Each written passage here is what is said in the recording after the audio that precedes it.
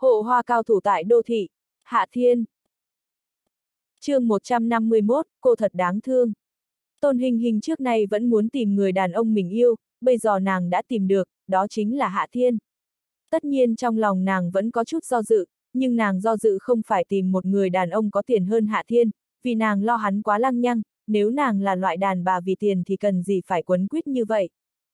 Nếu nói ngược lại, dù thật sự tôn hình hình vì tiền, chỉ cần nàng không ngu thì cũng sẽ không chọn cách rời khỏi Hạ Thiên.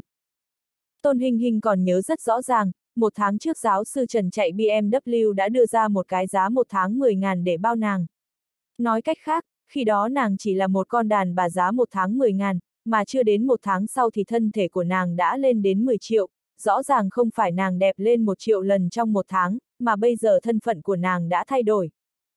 Tôn Hình Hình cũng không ngốc, nếu nàng ngốc thì cũng không thể tự mình sinh tồn trong thành phố được 6 năm và bảo vệ bản thân trong sạch. Vì vậy nàng cũng biết bây giờ thân phận mình thay đổi, vì nàng đã là bạn gái của Hạ Thiên, trong mắt người khác nàng là phụ nữ của Hạ Thiên, vì vậy nàng đáng giá đồng tiền bát gạo. Tôn Hình Hình đáng để Diệp Thiếu Kiệt bỏ ra một triệu, lý do nàng là phụ nữ của Hạ Thiên, mà nếu nàng rời khỏi Hạ Thiên thì cũng sẽ như trước kia, chẳng đáng xu nào. Có lẽ bây giờ Hạ Thiên chưa thể cho nàng 10 triệu, nhưng nếu nàng đi cùng hắn thì sẽ càng thêm cao quý, nếu rời khỏi hắn nàng sẽ quay về nơi tục tằng, chỉ còn lại gương mặt và tư thái một người phụ nữ xinh đẹp mà thôi. Tôn tiểu thư, tôi không biết em lấy đâu ra chiếc Ferrari, nhưng anh nghĩ chiếc Ferrari không đứng tên em, vì vậy em cũng không thể chuyển thành tiền. Anh có 10 triệu, thậm chí sẽ chuyển chiếc Lamborghini sang cho em, em chỉ cần theo anh một đêm, rất đơn giản, sao không làm. Diệp Thiếu Kiệt dùng giọng không nhanh không chậm nói.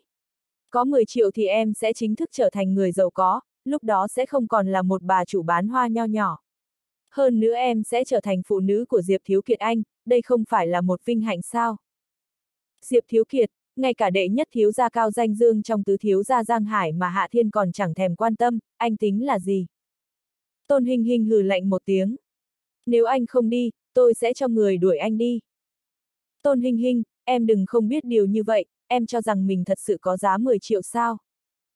Diệp Thiếu Kiệt bị lời nói của Tôn Hinh Hinh chọc giận. Em cho rằng Hạ Thiên thật sự quan tâm đến mình sao? Em có thể so sánh được với Kiều Tiểu Kiều hay Diệp Mộng Oánh không? Bây giờ anh cho em 10 triệu là may mắn của em, sau này loại người như em dù là 100 ngàn anh cũng không cần bỏ ra để kéo lên giường. Tôn Hinh Hinh tức đến mức gương mặt trắng bệch, người này hoàn toàn không xem nàng là phụ nữ, hắn chỉ coi đó là dụng cụ thỏa mãn thu tính. Audio điện tử võ tấn bền. Diệp Thiếu Kiệt, anh đừng nói bỏ ra 10 triệu, dù là 1 tỷ, 10 tỷ tôi cũng chướng mắt anh, tôi tình nguyện theo Hạ Thiên. Tôn Hình Hình tức giận nói. Bây giờ cút khỏi cửa hàng của tôi. Tôn Hình Hình, em sẽ nhanh chóng hối hận vì lựa chọn của mình. Diệp Thiếu Kiệt cười lạnh một tiếng rồi đi ra cửa hàng hoa, có ví dụ điển hình là Cao Danh Dương, hắn cũng không dám dùng thủ đoạn cứng rắn. Tôn Hình Hình nhìn Diệp Thiếu Kiệt lên Lamborghini rời khỏi Đại học Giang Hải, nàng lấy điện thoại ra gọi cho Hạ Thiên. Cũng không phải nàng muốn kể lệ uất ức của mình, nàng chỉ muốn cho Hạ Thiên biết Diệp Thiếu Kiệt đang bày mưu đối phó. Khi Hạ Thiên còn chưa biết tối nay sẽ đi đâu thì hắn nhận được điện thoại của Tôn Hinh Hinh.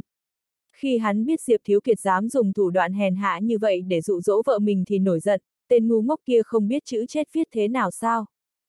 Hạ Thiên nhanh chóng bắt taxi đến cửa hàng hoa, sau đó hắn kéo tay Tôn Hinh Hinh.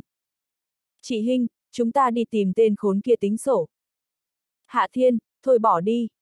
Tôn Hinh Hinh khẽ nói. Tôi cũng không tổn thương gì, hơn nữa chúng ta cũng không biết Diệp Thiếu Kiệt đang ở đâu.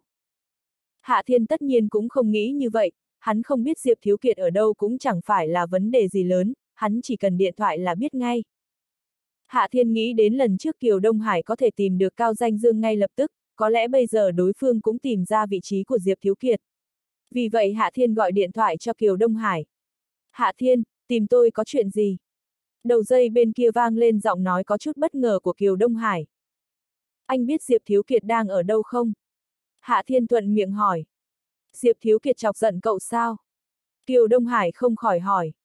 Đúng vậy, anh nhanh chóng kiểm tra vị trí của hắn cho tôi, tôi phải đi tìm hắn. Hạ Thiên nói ngay. Kiều Đông Hải rất sảng khoái. Được, chờ tôi 5 phút. Thực tế còn chưa đến 3 phút thì Kiều Đông Hải đã điện thoại lại cho Hạ Thiên. Hạ Thiên, bây giờ Diệp Thiếu Kiệt đang ở quán ba thiên hậu, nơi đó có chút đặc biệt, người ngoài không được vào, thế này đi, tôi sẽ đến với cậu. Không cần, tự tôi đảm nhiệm lấy chức trách. Hạ Thiên chỉ nói một câu rồi cúp điện thoại, trên đời này không có chỗ nào hắn không vào được, chỉ có những nơi hắn không muốn vào mà thôi. Kiều Đông Hải ở bên kia chợt ngẩn ngơ, khóe miệng hắn lộ ra nụ cười khổ, Hạ Thiên bây giờ lại muốn gây chuyện, đúng là phiền phức lớn. Quán ba Thiên Hậu là một nơi hoạt động theo kiểu hội viên, ba chủ của quán ba này tên là Mễ Hồng, mười mấy năm trước nổi tiếng trong giới ca sĩ. Dù là bây giờ chỉ cần nói đến Mễ Hồng thì vẫn có người nghĩ đến tướng mạo xinh đẹp và lời ca ngọt ngào của nàng. Mười năm trước khi còn rất nổi tiếng trong giới ca sĩ thì Mễ Hồng đột nhiên rút lui, sau đó nàng mở quán ba Thiên Hậu ở thành phố Giang Hải. Đây là một quán ba hoạt động theo kiểu hội viên, có rất nhiều người hiếu kỳ muốn vào bên trong xem thế nào, mà một số người cũng cho rằng đặt ra trò hội viên chẳng qua chỉ là mánh lới của quán ba mà thôi. Nhưng sau đó mọi người phát hiện đó không phải là mánh lới của quán ba, mà những người sinh lòng hiếu kỳ muốn vào xem thế nào lại không được tiến vào, một số người muốn mua thẻ hội viên, nhưng sau đó bọn họ phát hiện thẻ không phải mua mà do quán ba đưa tặng. Nhưng quán ba này không tùy ý tặng thẻ cho hội viên, mỗi đối tượng được tặng thẻ đều đã được sàng lọc rất khéo. Mười năm qua, chỉ cần có được thẻ hội viên của quán ba thiên hậu cũng đủ là một biểu tượng cho thân phận, người có tiền và nổi tiếng chưa hẳn sẽ trở thành hội viên của quán ba, nhưng người là hội viên của quán ba thì hơn phân nửa là có tiền hoặc có danh tiếng. Sự việc giống như Kiều Đông Hải dự đoán, Hạ Thiên và Tôn Hinh Hinh muốn vào quán ba thiên hậu nhưng bị hai cô gái xinh đẹp chặn ngay trước cổng. Tiên sinh, mời anh đưa thẻ hội viên. Mà có một việc Kiều Đông Hải không ngờ được, Hạ Thiên hoàn toàn không quan tâm đến hai người đẹp này, hắn trực tiếp xông vào. Này, tiên sinh, các người không thể vào như vậy được. Hai người đẹp lập tức trở nên nôn nóng, hai nàng vội nói với vào trong. Mau ngăn bọn họ lại. Vài tên bảo vệ phóng về phía Hạ Thiên, nhưng bọn họ căn bản không thể lao đến người hắn trong bán kính nửa thước. Lần này hắn vào và không muốn nói nhảm với đám người này, vì vậy sử dụng phương pháp giống như cùng Tôn Hinh Hinh đi xe buýt trước đó, hắn trực tiếp xông vào quán bar. Anh hỏi em yêu anh thế nào, em nói em yêu anh. Tiếng ca ngọt ngào truyền vào trong tai Hạ Thiên, trên sân khấu của quán bar có một cô gái đang hát. Thiên hậu khác hẳn với những quán bar thông thường khác, bên trong không có tiếng nhạc đinh tai nhức óc, lúc này có thể ngơ thấy tiếng ca ngọt ngào và tiếng nhạc đệm. Khách trong quán cũng không nhiều, nếu nhìn qua cũng chỉ có hai ba mươi người mà thôi. Hạ Thiên thấy Diệp Thiếu Kiệt, đối phương đang ngồi ở ghế salon giống như đang nghe hát, mà bên người Diệp Thiếu Kiệt còn có một cô gái xinh đẹp. Diệp Thiếu Kiệt, đi ra đây cho tao. Hạ Thiên đứng đó quát lớn một tiếng, một tiếng quát của hắn làm cho tiếng ca tắt ngúm, nhạc đệm cũng ngừng lại, toàn bộ quán ba có vẻ rất yên tĩnh, vài chục ánh mắt nhìn về phía Hạ Thiên như nhìn quái vật. Vài chục tên bảo vệ phóng đến nhưng kỳ quái là bọn họ chỉ vây quanh mà không có động tác nào, bọn họ cứ đứng như vậy giống như đang chờ mệnh lệnh của ai đó. Diệp Thiếu Kiệt tất nhiên cũng nhìn thấy Hạ Thiên nhưng hắn vẫn ngồi yên trên ghế salon mà chẳng có động tĩnh gì, đối với Hạ Thiên thì hắn không chút căng thẳng, thậm chí còn lộ ra nụ cười quỷ dị giống như đang thực hiện được âm mưu. Đám người trong quán bar đã có động tính, mà cô gái vừa hát kia cũng chậm rãi đi xuống sân khấu, tư thế rất yêu nhã. Khi cô gái đi đến gần thì Hạ Thiên cũng nhìn thấy rõ ràng, người phụ nữ này hơn 30, có thể thấy nàng rất giỏi trong cách ăn mặc. Dù nàng trang điểm khá nồng nhưng lại có thể biểu hiện tất cả các vẻ đẹp, sườn xám cũng mặc rất vừa người, buộc quanh dáng người trưởng thành và hoàn mỹ. Một đám phế vật, xem ra nuôi các người cũng chẳng được gì, tất cả cút ra.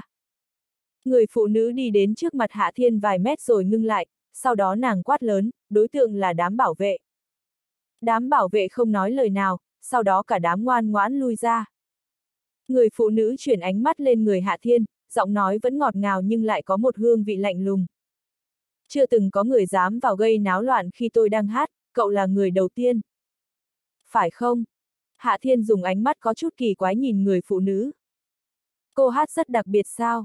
Tôi cảm thấy cô hát không tốt lắm. Cậu cũng là người đầu tiên nói tôi hát không dễ nghe. Ánh mắt của người phụ nữ càng lạnh hơn. À, vậy thì cô thật đáng thương. Hạ Thiên nói với vẻ mặt đồng tình. Sau nhiều năm bị người ta lừa gạt như vậy, xem ra không ai nói với cô về sự thật. Hạ Thiên không đợi người phụ nữ nói chuyện, hắn nhanh chóng nói. Tuy cô rất đáng thương nhưng bây giờ tôi không có thời gian rãnh để đồng tình, tôi phải thanh toán vài vấn đề với tên Diệp Thiếu Kiệt ngu ngốc kia.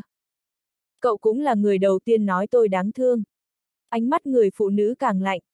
Nếu anh không phải là người ngu thì tôi nên bội phục anh, vì anh nói ra như vậy rất có dũng khí. chương 152, chỉ có giá 100 đồng. Cô mới ngốc. Hạ Thiên có chút bất mãn. Tôi nói không quan tâm đến cô, cô nói nhảm làm gì vậy? Hạ Thiên không có hứng thú với người phụ nữ này, hắn tiếp tục nói với Diệp Thiếu Kiệt. Này, Diệp Thiếu Kiệt ngu ngốc, tai điếc rồi à?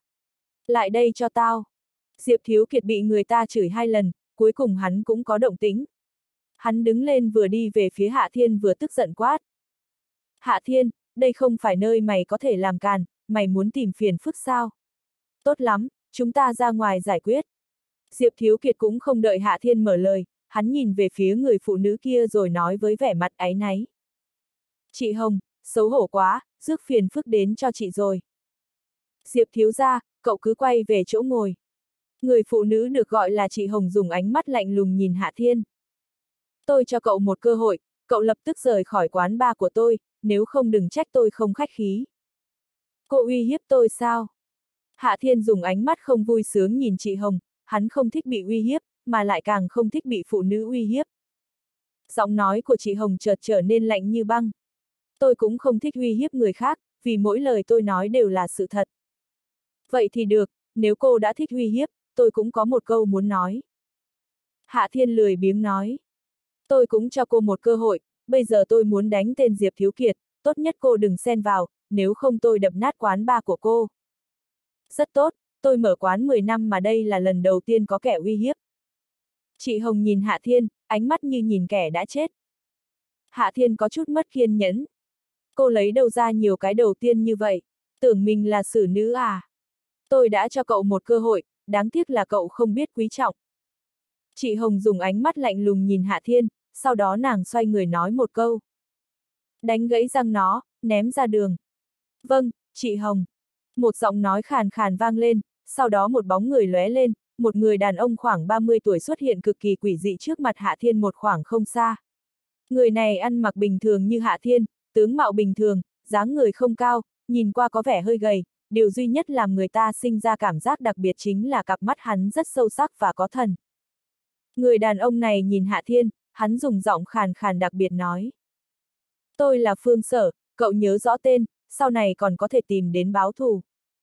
À, anh cũng nhớ kỹ, tôi là Hạ Thiên, Hạ trong xuân Hạ thu đông, Thiên trong thiên hạ đệ nhất thiên, nếu anh muốn chết thì chỉ có cách xuống gặp mặt than vãn với Diêm Vương. Hạ Thiên lười biếng nói. Vẻ mặt Phương sở lộ ra nụ cười. Rất tốt, tôi thích người cuồng ngạo, bây giờ tôi muốn xem cậu thật sự có thực lực như lời nói hay không. Khi thấy Phương sở chuẩn bị ra tay thì trong mắt Diệp Thiếu Kiệt lóe lên cái nhìn đắc ý, nhưng đúng lúc này một âm thanh chợt vang lên.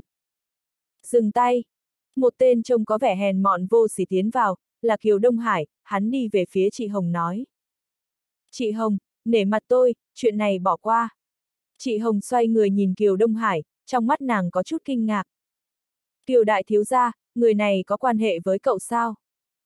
Chị Hồng, cậu ta là hôn phu của Tiểu Kiều. Kiều Đông Hải trực tiếp nói ra thân phận của Hạ Thiên.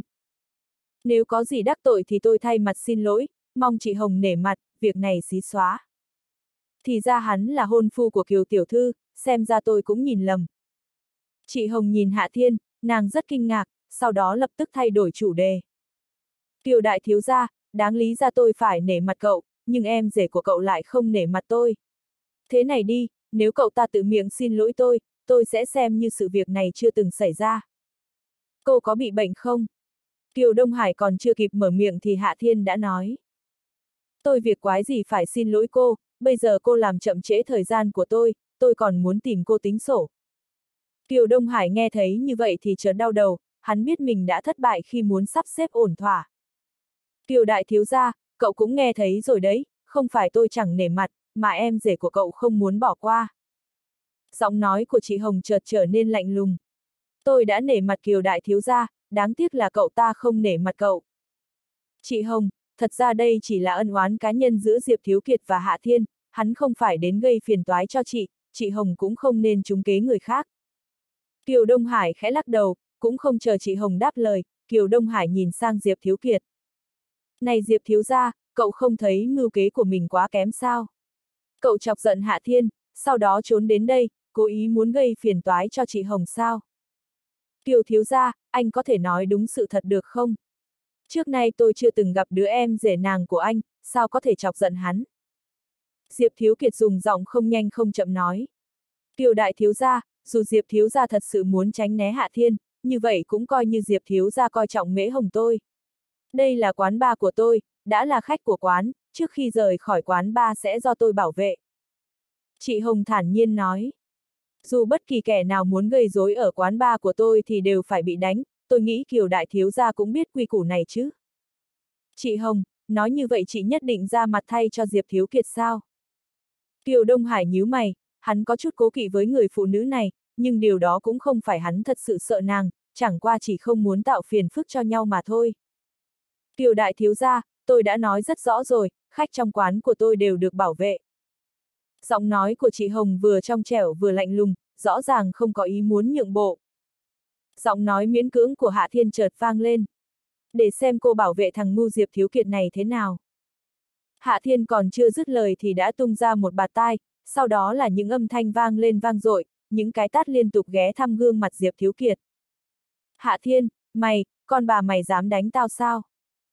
Diệp Thiếu Kiệt giống lên. Hạ Thiên nhấc chân đạp trúng bụng Diệp Thiếu Kiệt, đối phương quá đau ôm bụng ngã xuống đất. Đánh mày thì thế nào? Hạ Thiên không cho là đúng. Thằng ngu, mày đưa ra 10 triệu nói vợ tao lên giường với mày một đêm phải không? Bây giờ tao cho mày 100 đồng, cho mày đi với tao một đêm. Hạ Thiên móc từ trong túi ra một tờ tiền 100 đồng, hắn ném về phía Diệp Thiếu Kiệt đang nằm trên mặt đất. Thằng ngu như mày chỉ có giá 100 đồng thôi. Kiều Đông Hải nhìn Tôn Hinh Hinh ở bên cạnh Hạ Thiên, cuối cùng hắn cũng hiểu ra. Tên khốn Diệp Thiếu Kiệt muốn chơi Tôn Hinh Hinh, muốn kéo Tôn Hinh Hinh lên giường, hèn gì Hạ Thiên sẽ phải chạy đến thăm hỏi. Kiều Đại Thiếu gia, bây giờ không phải là tôi không nể mặt cậu. Vẻ mặt mễ hồng tức giận đến mức trắng nhợt, nàng gầm lên. Phương sở, cắt đứt hai tay tên này ném ra ngoài. Bốp! Mễ hồng đột nhiên cảm thấy trước mắt đầu sao, gò má nóng hôi hổi, khoảnh khắc này nàng thiếu chút nữa đã ngất xỉu, mình. Mình bị người ta tát sao? Cô có biết mình rất lắm mồm không? Hạ thiên trừng mắt nhìn mễ hồng. Tôi đã nói cô đừng nhúng tay vào, cô lại thích xen vào chuyện người khác, cô thích chơi ngược đãi phải không? Tôi giúp cô, đánh cô và cả thằng ngu diệp thiếu kiệt này. Hạ Thiên vừa nói dứt lời thì cảm nhận được một luồng khí tức nguy hiểm, hắn xoay người và phát hiện một bóng người lao về phía mình, đó là Phương Sở. Tốc độ của Phương Sở rất nhanh, nắm đấm vung ra như sấm sét. Hạ Thiên không có tâm tư dây dưa với người này, hắn cũng không né tránh mà tiện tay vung đấm. ầm, um, hai nắm đấm va vào nhau, một tiếng nổ trầm trầm vang lên. Một lực lượng khổng lồ ép đến làm Hạ Thiên không thể nào đứng vững, hắn lui về phía sau vài bước, mà Phương Sở lại đứng yên không động đậy. Lúc này cứng đối cứng, không ngờ Hạ Thiên lại rơi vào thế hạ phong. Hạ Thiên lập tức nổi giận, sỉ nhục, đây tuyệt đối là sỉ nhục, hắn mà thua, hắn sao thua được. Có thể tiếp được 5 phần lực của tôi, cậu cũng có chút bản lĩnh. Giọng nói của Phương Sở rất âm trầm, có chút kiêu ngạo. Vậy anh thử tiếp 5 phần lực của tôi xem thế nào. Hạ Thiên đánh ra một quyền, trong không khí vang lên tiếng nổ rền như sấm động. Vẻ mặt Phương Sở chợt biến đổi, hắn cảm thấy một quyền của đối phương có lực lượng quá lớn, nhưng hắn cũng không muốn bỏ qua, 10 năm nay hắn chưa từng thua ở Giang Hải. Chân khí vận chuyển, Phương Sở dùng tất cả sức lực ép lên tay, hắn cũng tung quyền đón chào Hạ Thiên. ầm, um, hai nắm đấm lại va chạm vào nhau, một tiếng nổ trầm đục vang lên, những con sóng khí tỏa ra bốn phía. Mễ Hồng ở bên cạnh cảm nhận được một lực lượng khổng lồ cuốn đến, nàng bị nhấc lên và ném xuống đất, Kiều Đông Hải cũng bị sóng khí ép ra phía sau hơn 10 bước, cuối cùng mới đứng vững. Mà Tôn hình hình đứng ở sau lưng Hạ Thiên lại chẳng việc gì. Á! Phương sở hét lên một tiếng đau đớn, cơ thể bắn lên không, hắn há miệng phun ra một ngụm máu giữa không trung. Phụt! ầm, um, Thân thể Phương sở đập mạnh xuống nền đất, bất tỉnh nhân sự. Hạ Thiên bĩu môi. Chỉ có chút bản lĩnh đó thôi sao? Hạ Thiên có thói quen chỉ dùng một phần lực lượng, vì vậy lần đầu tiên bị Phương Sở đánh lui, điều này làm hắn rất căm tức. Vì vậy mà nắm đấm thứ hai được tung ra với 5 phần lực lượng, hơn nữa là nén giận đánh ra, không có tính toán nương tình. Phương Sở nhận lấy một quyền như vậy tất nhiên sẽ bị đánh bay. A Sở! Mễ Hồng bò lên khỏi mặt đất, nàng kinh ngạc hô lên một tiếng, sau đó nàng chạy về phía phương sở. A sở, cậu không sao đấy chứ? Phương sở đã sớm hôn mê, tất nhiên hắn sẽ không thể trả lời Mễ Hồng. Người đâu, đến đây ngay, đưa A sở đi bệnh viện. Mễ Hồng rõ ràng rất quan tâm đến phương sở, khoảnh khắc này nàng đã quên mất trước đó Hạ Thiên tát mình. Vài người vội vàng chạy đến mang phương sở chạy ra ngoài quán bar. Mễ Hồng gọi vài cuộc điện thoại, nàng gọi đến cho bệnh viện, rõ ràng là đang sắp xếp cho phương sở. Sau khi bận rộn tất cả thì nàng cuối cùng cũng nhìn về phía Hạ Thiên, gương mặt xinh đẹp lúc này trở nên lạnh lùng cực kỳ đáng sợ. Hạ Thiên, tôi nói cho cậu biết, bây giờ thủ oán giữa chúng ta đã không còn nhỏ nữa chương 153, món đồ dùng để chơi đùa không có tư cách nói chuyện. Hạ Thiên căn bản không quan tâm đến Mễ Hồng, nàng đi đến trước mặt Diệp Thiếu Kiệt đang ngã lăn dưới đất, hắn dùng chân hất đối phương lên. Này, thằng ngu, tao đã cho mày tiền, bây giờ nên đi theo tao, đứng lên, đừng giả vờ chết. Hạ Thiên, mày muốn thế nào? Diệp Thiếu Kiệt nghiến răng nghiến lợi nói, lúc này hắn rất sợ, hắn không ngờ Phương Sở bị Hạ Thiên đánh bại dễ dàng như vậy. Thực tế không chỉ Diệp Thiếu Kiệt nghĩ như vậy, kể cả Kiều Đông Hải và những người khác cũng cảm thấy không ngờ, vì ai cũng biết Phương Sở không phải người thường. Mễ Hồng ở quán Ba Thiên Hậu 10 năm ở thành phố Giang Hải, 10 năm, dù là công tử con nhà quan hay công tử con nhà đại gia, dù là đại ca hắc đạo, mỗi người tiến vào quán ba đều cực kỳ quy củ. Thậm chí ngay cả Diệp Thiếu Kiệt và Kiều Đông Hải, ai nhìn thấy Mễ Hồng cũng khách khí gọi một tiếng chị Hồng. Điều này không phải vì Mễ Hồng có hậu trường trong hắc đạo hay bạch đạo, vì bên cạnh nàng có một người, đó chính là Phương Sở. Phương Sở là cận vệ của Mễ Hồng, còn trình độ đến mức nào thì người ngoài không rõ, nhưng ai cũng biết Phương Sở đã ở lại bên cạnh Mễ Hồng hơn 10 năm, Mễ Hồng cũng rất tín nhiệm người này. Mà thực tế thì ai cũng biết Phương Sở chính là tình nhân của Mễ Hồng. Lai lịch của Phương Sở tương đối thần bí, rất nhiều người từng âm thầm điều tra thân phận của Phương Sở nhưng chẳng có được tin tức nào. Người này giống như đột nhiên xuất hiện bên cạnh Mễ Hồng, trước đây hắn là ai làm gì, hầu như không ai biết. Thật ra Phương Sở cũng rất có danh tiếng ở thành phố Giang Hải, hắn có một danh hiệu, là vệ sĩ đệ nhất Giang Hải. Thành phố Giang Hải có rất nhiều nhà giàu, rất nhiều người có vệ sĩ tư nhân, mà những vệ sĩ này cũng có thực lực không tầm thường, nhưng nếu so sánh với phương sở thì bọn họ chỉ có thể cúi mình dưới thế hạ phong. Diệp Thiếu Kiệt biết Hạ Thiên rất giỏi đánh đấm, vì vậy hắn cố ý kéo đối phương đến quán ba thiên hậu, vì hắn tin dù Hạ Thiên có giỏi thế nào cũng khó thể nào là đối thủ của phương sở. Hắn bày mưu như vậy chẳng những có thể dùng phương sở để dạy bảo Hạ Thiên, hơn nữa còn đưa đến cho Mễ Hồng một kẻ địch mạnh mẽ, có thể nói là một công đôi việc. Rõ ràng kế hoạch của Diệp Thiếu Kiệt cũng thành công được một nửa, hắn đã làm cho Hạ Thiên đắc tội với Mễ Hồng, bây giờ Mễ Hồng cũng căm hận Hạ Thiên thấu xương. Đáng tiếc là có một vấn đề hắn tính sai, Hạ Thiên mạnh hơn so với tưởng tượng của hắn quá nhiều, Phương Sở là vệ sĩ đệ nhất ở thành phố Giang Hải nhưng bị đánh bay chỉ với một đấm của Hạ Thiên, sau đó còn hôn mê, không biết có còn tỉnh lại hay không. Hạ Thiên lại đá lên người Diệp Thiếu Kiệt. Thằng ngu, đứng lên cho tao, nếu mày thích nằm trên đất thì tao sẽ cho nằm cả đời. Hạ Thiên, mày đừng quá phận.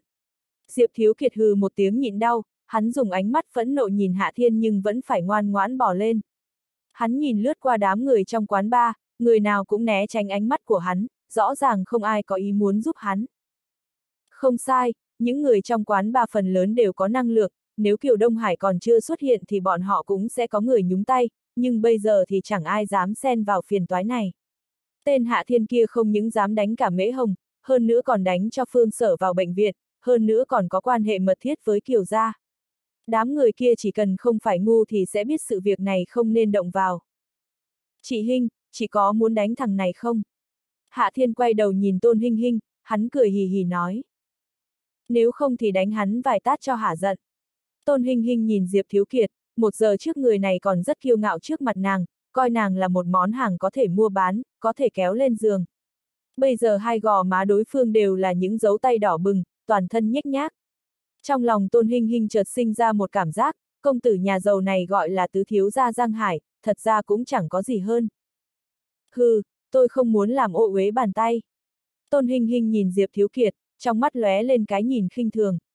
Từ giờ khắc này thì tâm lý của nàng đã có sự chuyển biến, nàng không còn cảm thấy thân phận bà chủ cửa hàng hoa nho nhỏ là thấp hèn, nàng chẳng có gì hèn mọn hơn tứ thiếu gia Giang Hải này, thậm chí còn cao quý hơn rất nhiều. Diệp Thiếu Kiệt nghe thấy như vậy thì thiếu chút nữa đã giận điên lên, người phụ nữ này có cái quái gì mà cao sang. Chỉ là một bà chủ cửa hàng hoa mà thôi, vậy mà dám nói đánh mình sẽ bẩn tay sao? Cô là thứ quái quỷ gì? Á! Diệp Thiếu Kiệt vừa nói ra một câu thì lại kêu lên thảm thiết, Hạ Thiên đã cho hắn một bạt tai. Kiều Đông Hải ở bên cạnh liên tục lắc đầu, Diệp Thiếu Kiệt đúng là tự gây tội nghiệt, đến lúc này còn mắng Tôn Hinh Hinh, muốn chết cũng không nên như vậy mới đúng. Chị Hinh, tôi đã nghĩ ra một biện pháp, chỉ có thể đánh thằng ngu này mà không sợ bẩn tay. Hạ Thiên cho Diệp Thiếu Kiệt một tát rồi nói với Tôn Hinh Hinh. Hạ Thiên cởi giày của mình xuống, hắn đưa cho Tôn Hinh Hinh rồi cười hì hì nói. Chị Hinh, chị dùng cái này vã vào miệng thằng ngu kia. Hạ Thiên, mày đừng nên quá tuyệt tình. Diệp Thiếu Kiệt dùng ánh mắt tức giận nhìn Hạ Thiên, đêm nay hắn đến đây mà không mang theo vệ sĩ, vì vậy mà lúc này tứ cố vô thân, ngoài vấn đề nổi nóng vô ích thì chẳng còn biện pháp phản kháng nào khác. Mày là món đồ chơi 100 đồng của tao, đồ chơi không có tư cách nói chuyện. Hạ Thiên lười biếng nói. Chị Hinh, đánh đi, thằng ngu này phải bị đánh một trận, như vậy nó mới nhớ. Tôn Hinh Hinh nhận giày của Hạ Thiên mà có chút do dự. Tôn Hinh Hinh, nếu cô dám đánh, tôi nhất định sẽ không bỏ qua cho cô. Diệp Thiếu Kiệt dùng giọng ngoài mạnh trong yếu quát lớn. Bốp! Tôn Hình Hình cuối cùng cũng vung giày. Diệp Thiếu Kiệt muốn tránh nhưng chẳng được, không biết hắn đã chẳng nhúc nhích được từ khi nào. Điều này cũng rất bình thường, Hạ Thiên đã muốn Tôn Hình Hình đánh người, sao lại để xuất hiện tình huống đánh không chúng. Tôn Hình Hình, mà là con điếm, con bà nó dám đánh tao, mày chờ đó, ông sẽ tìm vài trăm thằng cùng chơi mày, nếu không làm được thì tao không còn là họ Diệp. Á! Diệp Thiếu Kiệt giống lên điên cuồng, khi bị Hạ Thiên đánh thì hắn cắn răng chịu đựng, nhưng bị Tôn Hinh Hinh đánh thì lập tức bạo phát.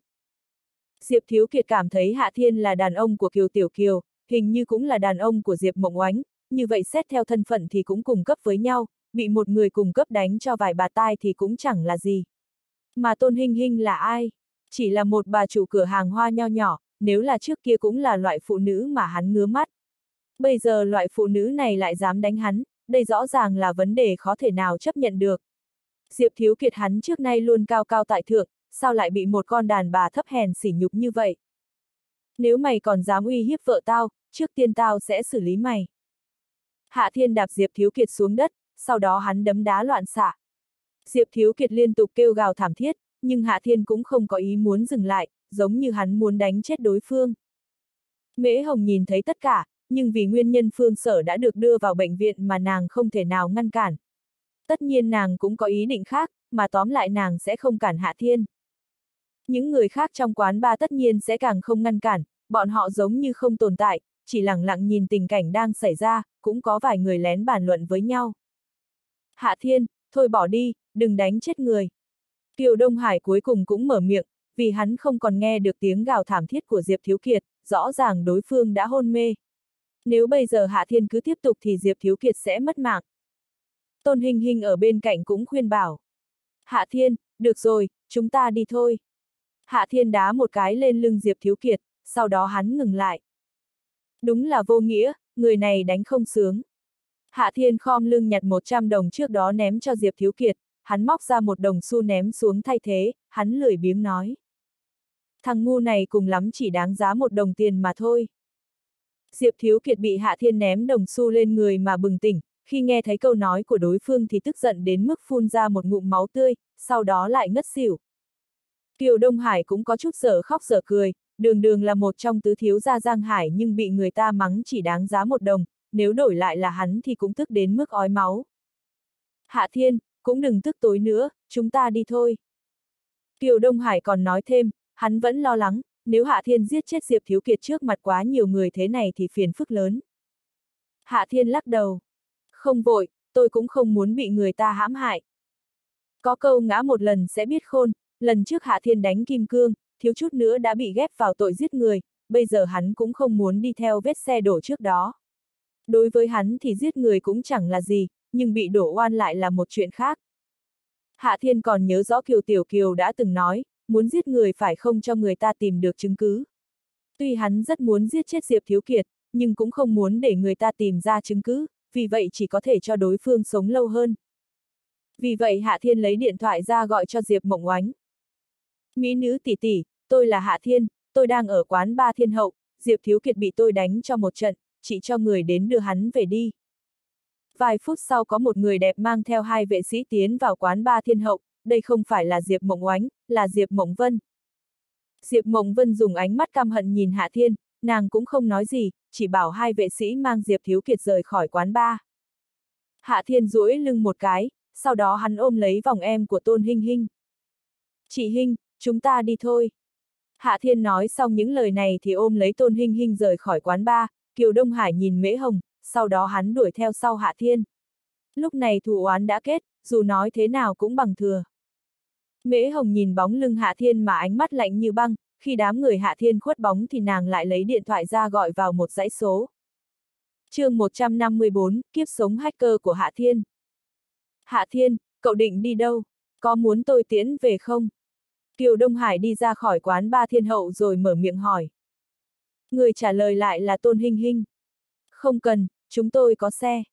Kiều Đông Hải nhìn Hạ Thiên và Tôn Hinh Hinh đi về phía một chiếc Ferrari mà không khỏi buồn bực, tiểu tử kia lấy đâu ra xe vậy. Nhưng xe còn tốt hơn cả xe của hắn, mà cũng không thấy đối phương đến lấy tiền từ tay Kiều Tiểu Kiều. Đợi đến khi Hạ Thiên và Tôn Hinh Hinh chạy chiếc Ferrari phóng đi thì Kiều Đông Hải mới leo lên chiếc Cadillac của mình. Hắn không phải không có tiền mua xe, trước đó hắn vừa ý một con Rolls Royce Phantom nhưng cuối cùng lại nhịn không mua.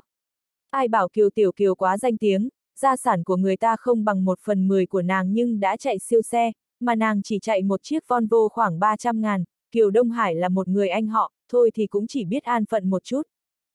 Tiểu Kiều an phận sao lại tìm đến một Hạ Thiên không biết an phận là gì nhỉ?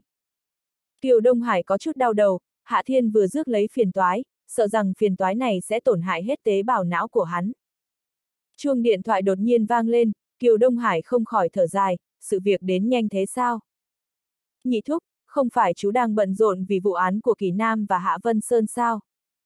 Kiều Đông Hải nhận điện thoại, hắn nhịn không được phải hỏi. Người điện thoại đến là Kiều Trấn Quốc, tâm tình của vị phó chủ tịch vốn rất tốt, nhưng một cú điện thoại vài phút trước làm cho những ý tốt của lão biến mất hơn phân nửa. Đông Hải, gần đây cháu rất thông minh, đêm nay đầu óc có vấn đề gì rồi sao? Kiều Trấn Quốc dùng giọng căm tức hỏi. Cháu tự nhiên động đến con đàn bà mễ hồng kia làm gì? Nhị thúc, cháu nào có động vào cô ta? Kiều Đông Hải có chút buồn bực. Là do Hạ Thiên gây ra. Lại là Hạ Thiên sao? Kiều Trấn Quốc lập tức nói. Tên kia không biết yên ổn vài ngày sao? Có phải một ngày chẳng gây chuyện thì không yên sao? Nhị thúc, lời này chú cũng không nên nói với cháu, ngay cả Tiểu Kiều cũng không quản được cậu ta, cháu có biện pháp nào đây? Kiều Đông Hải dùng giọng bất đắc dĩ nói. Hơn nữa chính cậu ta đi gây chuyện cũng không phải không có chỗ tốt với chúng ta, nhị thúc thấy có phải vậy không? Kiều Trấn Quốc tất nhiên biết rõ ý nghĩa lời nói của Kiều Đông Hải, nếu không có Hạ Thiên thì Kỳ Nam và Hạ Vân Sơn sẽ không rất ngựa, mà Kiều Trấn Quốc cũng không có được vị trí tốt như lúc này. Tiểu tử kia là cây kiếm hai lưỡi, cháu thương lượng với Kiều Tiểu Kiều, cả hai nên giám sát cậu ta chặt chẽ một chút. Giọng điệu của Kiều Trấn Quốc có chút hòa hoãn. Cháu nói cho chú xem, trước đó giữa cậu ta và Mễ Hồng có chuyện gì? Không thể hòa giải sao? Kiều Đông Hải đơn giản nói những chuyện vừa xảy ra, cuối cùng còn bổ sung một câu. Nhị thúc, theo cháu thấy thì việc này không thể nào hòa giải. Kiều Trấn Quốc suy nghĩ một chút.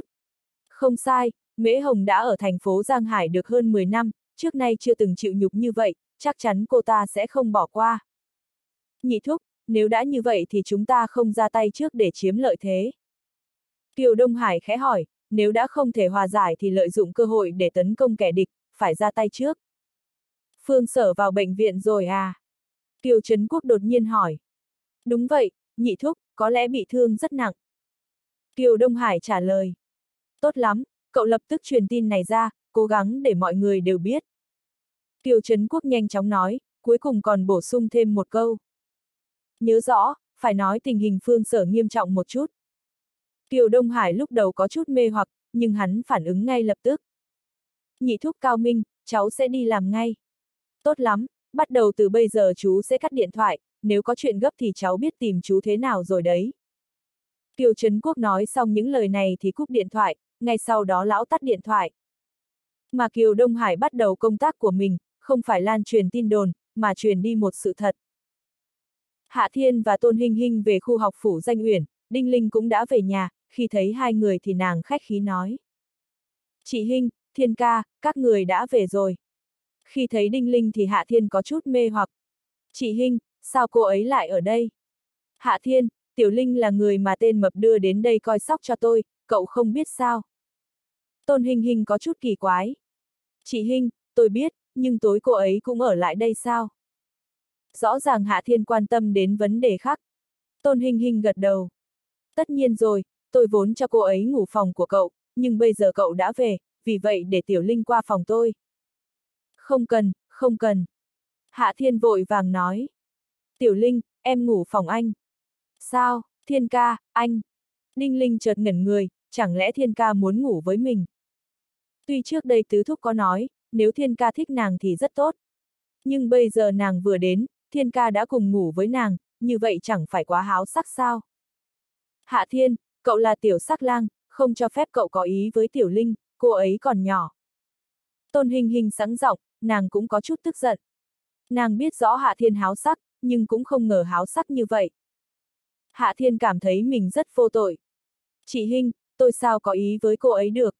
Cậu không có ý sao bắt cô ấy ngủ chung phòng.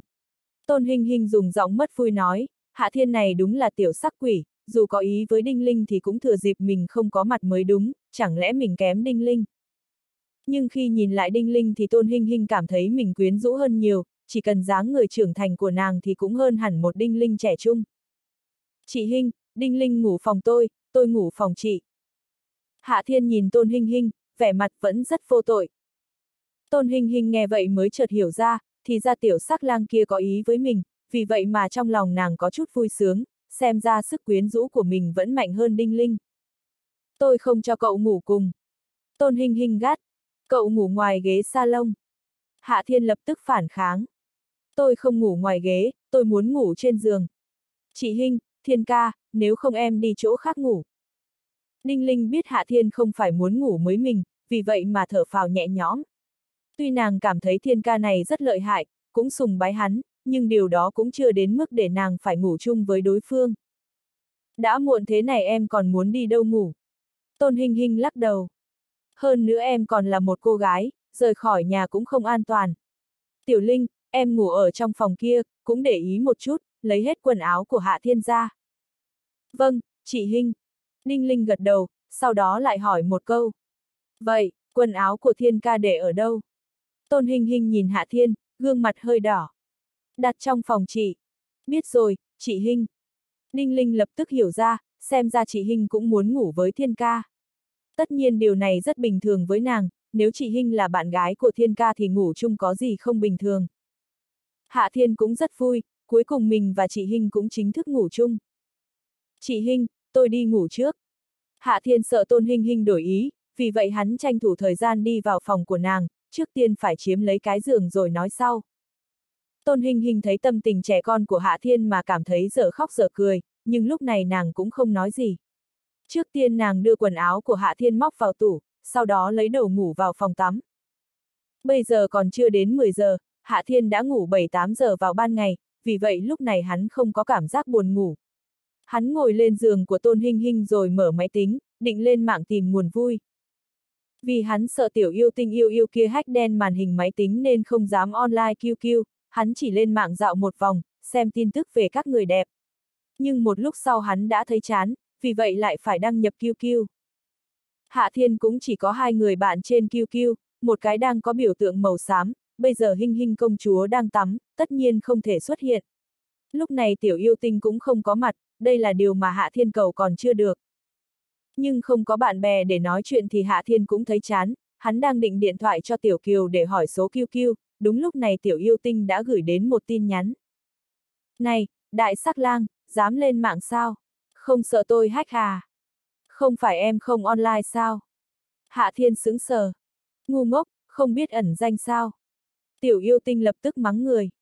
Không biết. Hạ Thiên trả lời một câu rất thành thật, sau đó hắn hỏi. Vợ anh có đấy không? Sao cô ấy không điện thoại cho anh? Hừ, nếu chẳng phải chị Hàm không cho em hack anh, anh tưởng rằng sẽ còn được nói chuyện với em sao? Tiểu yêu tinh ném đến một trái bom. Chị Hàm bảo em nói cho anh biết, gần đây chị ấy rất bận, vài ngày sau mới đến tìm anh. Rốt cuộc là mấy người nữa sẽ đến.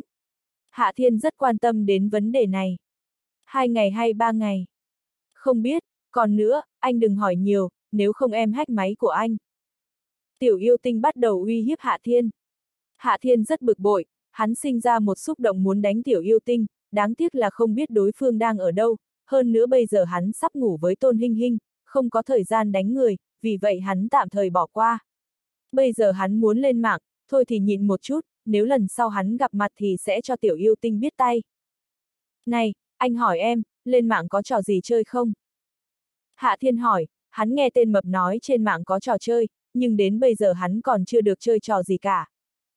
Có rất nhiều trò, ví dụ như game ma thú hay Tây Du Ký, nhưng em không thích, chỉ chỉ thích hack máy tính của người khác. Rõ ràng sở thích của tiểu yêu tinh là không giống với người thường. Anh cũng muốn hack máy tính, anh phải làm sao? Hạ Thiên cũng là một kẻ hiếu học, hắn dùng giọng chân thành để lãnh giáo. Anh thật sự muốn hack sao? Em sẽ dạy cho một chút. Tiểu yêu tinh rõ ràng là giáo viên giỏi, nàng bắt đầu chỉ bảo cho Hạ Thiên biết hack máy tính người khác thế nào. Nhưng chỉ vài phút sau nàng đã bị chọc tức. Tiểu yêu tinh nổi giận với kết quả là màn hình của Hạ Thiên lại trở thành màu đen, bên trên có hai hàng chữ. Anh đúng là ngông cuồng, dám hack máy của tôi sao? Đây là lần đầu tiên bắt đầu kiếp sống hacker, nhưng không ngờ kết quả là thất bại thảm hại, ai bảo hắn dùng phương pháp mà tiểu yêu tinh dạy bảo để hack ngược lại chương 155, Hoa Hồng Nở. Nhìn máy tính bị hách mà Hạ Thiên có chút buồn bực, tiểu yêu tinh lại hách máy, hắn chỉ thử hách với máy của nàng bên kia mà thôi, sao lại không thành công. Tiểu yêu tinh mỗi lần hách máy của hắn chỉ là vài giây đồng hồ, hắn còn tưởng rằng hách máy tính của đối phương cũng dễ dàng như vậy. Máy tính đột nhiên khôi phục lại như thường, điều này làm Hạ Thiên có chút bất ngờ, chẳng lẽ hôm nay tâm tình của tiểu yêu tinh rất tốt. Anh rõ ràng là đại sắc lang, xem tôi giết anh thế nào. Tiểu yêu tinh thật sự rất tức giận, nàng gửi cho Hạ Thiên tin nhắn này xong thì biểu tượng kêu kêu chợt tối đi, cũng không biết đã thoát ra hay đang ẩn ních. Hạ Thiên không cho là đúng, tiểu yêu tinh có thể làm gì được hắn. Cùng lắm chỉ có thể hack máy tính, cũng chẳng có gì quá đáng, hắn cũng quen nhìn màn hình đen. Một mùi hương quen thuộc sộc vào mũi, Hạ Thiên không khỏi quay đầu, hắn lập tức nhìn thấy Tôn Hinh Hinh mặc chiếc áo ngủ hắn thích nhất và gợi cảm nhất đi vào phòng. Những đường cong và bộ vị như ẩn như hiện làm lửa nóng trong lòng Hạ Thiên bùng lên dữ dội, cái gì mà hacker tiểu yêu tinh, hắn ném tất cả những vấn đề vừa rồi lên 9 tầng mây. Tôn Hinh Hinh vừa đi đến bên giường đã bị Hạ Thiên ôm chầm lấy. Á! Tôn Hinh Hinh khẽ hô lên một tiếng duyên dáng. Tiểu sắc lang, đi tắm trước đi, nếu không đừng chạm vào người chị. Chị Hinh, nói vậy thì tôi đi tắm sẽ có thể đụng vào sao? Hạ Thiên không nỡ buông tay, thân thể Tôn hình hình rất mềm, hơn nữa còn rất thơm, ôm rất thoải mái. Cậu đi tắm trước đi. Tôn hình hình hờn dỗi nói. Được rồi, chị Hinh. Hạ Thiên cuối cùng cũng buông Tôn hình hình, hắn nhảy xuống giường, hắn vội vàng chạy vào nhà tắm. Sau đó, chưa đến một phút sau hắn đã chạy ra. Chị Hinh, đã tắm xong. Hạ Thiên nhảy lên giường, hắn bế Tôn Hinh Hinh lên theo. Tôn Hinh Hinh lập tức dở khóc dở cười, tiểu sắc quỷ này cũng quá háo sắc, tắm rửa chưa được một phút, cũng không biết đã dội nước lên người chưa nữa. Đóng chắc cửa lại. Tôn Hinh Hinh khẽ nói, thật ra nàng đã sớm có quyết định nhưng trong lòng cũng rất ngại ngùng, còn có chút căng thẳng. 22 năm, cuối cùng nàng cũng đón người đàn ông đầu tiên trong đời, tất nhiên nàng vừa chờ mong vừa lo lắng khoảnh khắc quan trọng này, hơn nữa cũng có chút bất an. Hạ Thiên dùng tốc độ rất nhanh để phóng ra đóng cửa, ngay sau đó hắn lại chạy vào ôm Tôn Hinh Hinh vào lòng lần thứ ba. Lần này Tôn Hinh Hinh cũng không vùng vẫy, cũng không từ chối, nàng chỉ dùng cặp mắt xinh đẹp nhìn gương mặt Hạ Thiên.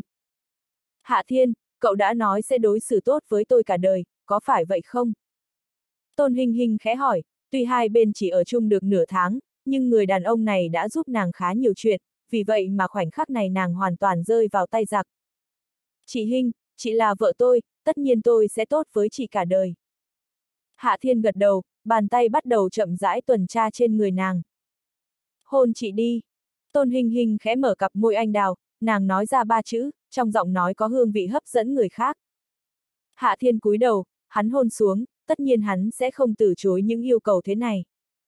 Kỹ thuật hôn môi của Tôn Hinh Hinh rất kém nhưng đáp ứng rất nhiệt liệt, dưới sự chỉ đạo của Hạ Thiên, nàng học tập rất nhanh, cặp lưỡi quấn lấy nhau, thân thể nàng cũng dần nóng rực lên. Dù bây giờ nàng được ôm máy điều hòa là Hạ Thiên, nhưng nàng vẫn nóng, thân thể cũng bùng lên mùi thơm nồng đậm, vô tình phòng ngủ tràn ngập một hương vị đặc biệt. Mùi hương này giống như càng kích thích lửa nóng trong lòng Hạ Thiên, hắn cố gắng hôn cặp môi đỏ mỏng của Tôn Hinh Hinh, hai tay liên tục xoa nắn. Chỉ một lúc sau đầu ngủ đã dần rời khỏi người Tôn Hinh Hinh dưới bàn tay ma thuật của hắn. Ông xã, điện thoại kia. Ông xã, điện thoại kia. Điện thoại của Hạ Thiên chợt vang lên, lúc này hắn cũng không rãnh đi nhận điện thoại, nhưng sau đó chuông điện thoại lại tiếp tục vang lên. Hạ Thiên, nhận điện thoại đi đã. Tôn Hình Hình thở gấp, điện thoại đột nhiên gọi đến cũng làm nàng có chút căm tức. Hạ Thiên cầm lấy điện thoại xem xét, là một dãy số lạ. Tuy hắn không tình nguyện nhưng phải nhận máy, hắn nói bằng giọng bất thiện. Này, ai vậy? Này, có nhiệm vụ mới nhanh vậy sao? Bên kia trầm mặc một lúc lâu, ngay sau đó mở miệng mắng một câu, cuối cùng cúp điện thoại. Điên! Hạ Thiên mắng một câu, sau đó hắn ném điện thoại sang một bên, hắn cúi đầu hôn xuống, nhưng lúc này hắn hôn lên bộ ngực sữa ngạo nghễ của Tôn Hinh Hinh. Điện thoại chết tiệt lại vàng lên, Hạ Thiên nhìn qua, là một số lạ, hắn dứt khoát không nhận, sau đó ném điện thoại sang một bên, tiếp tục chuyện đại sự. Nhưng điện thoại vẫn vang lên, lại là số lạ, Hạ Thiên cuối cùng cũng học cách thông minh, hắn trực tiếp cắt điện thoại, thế giới đã yên tĩnh trở lại.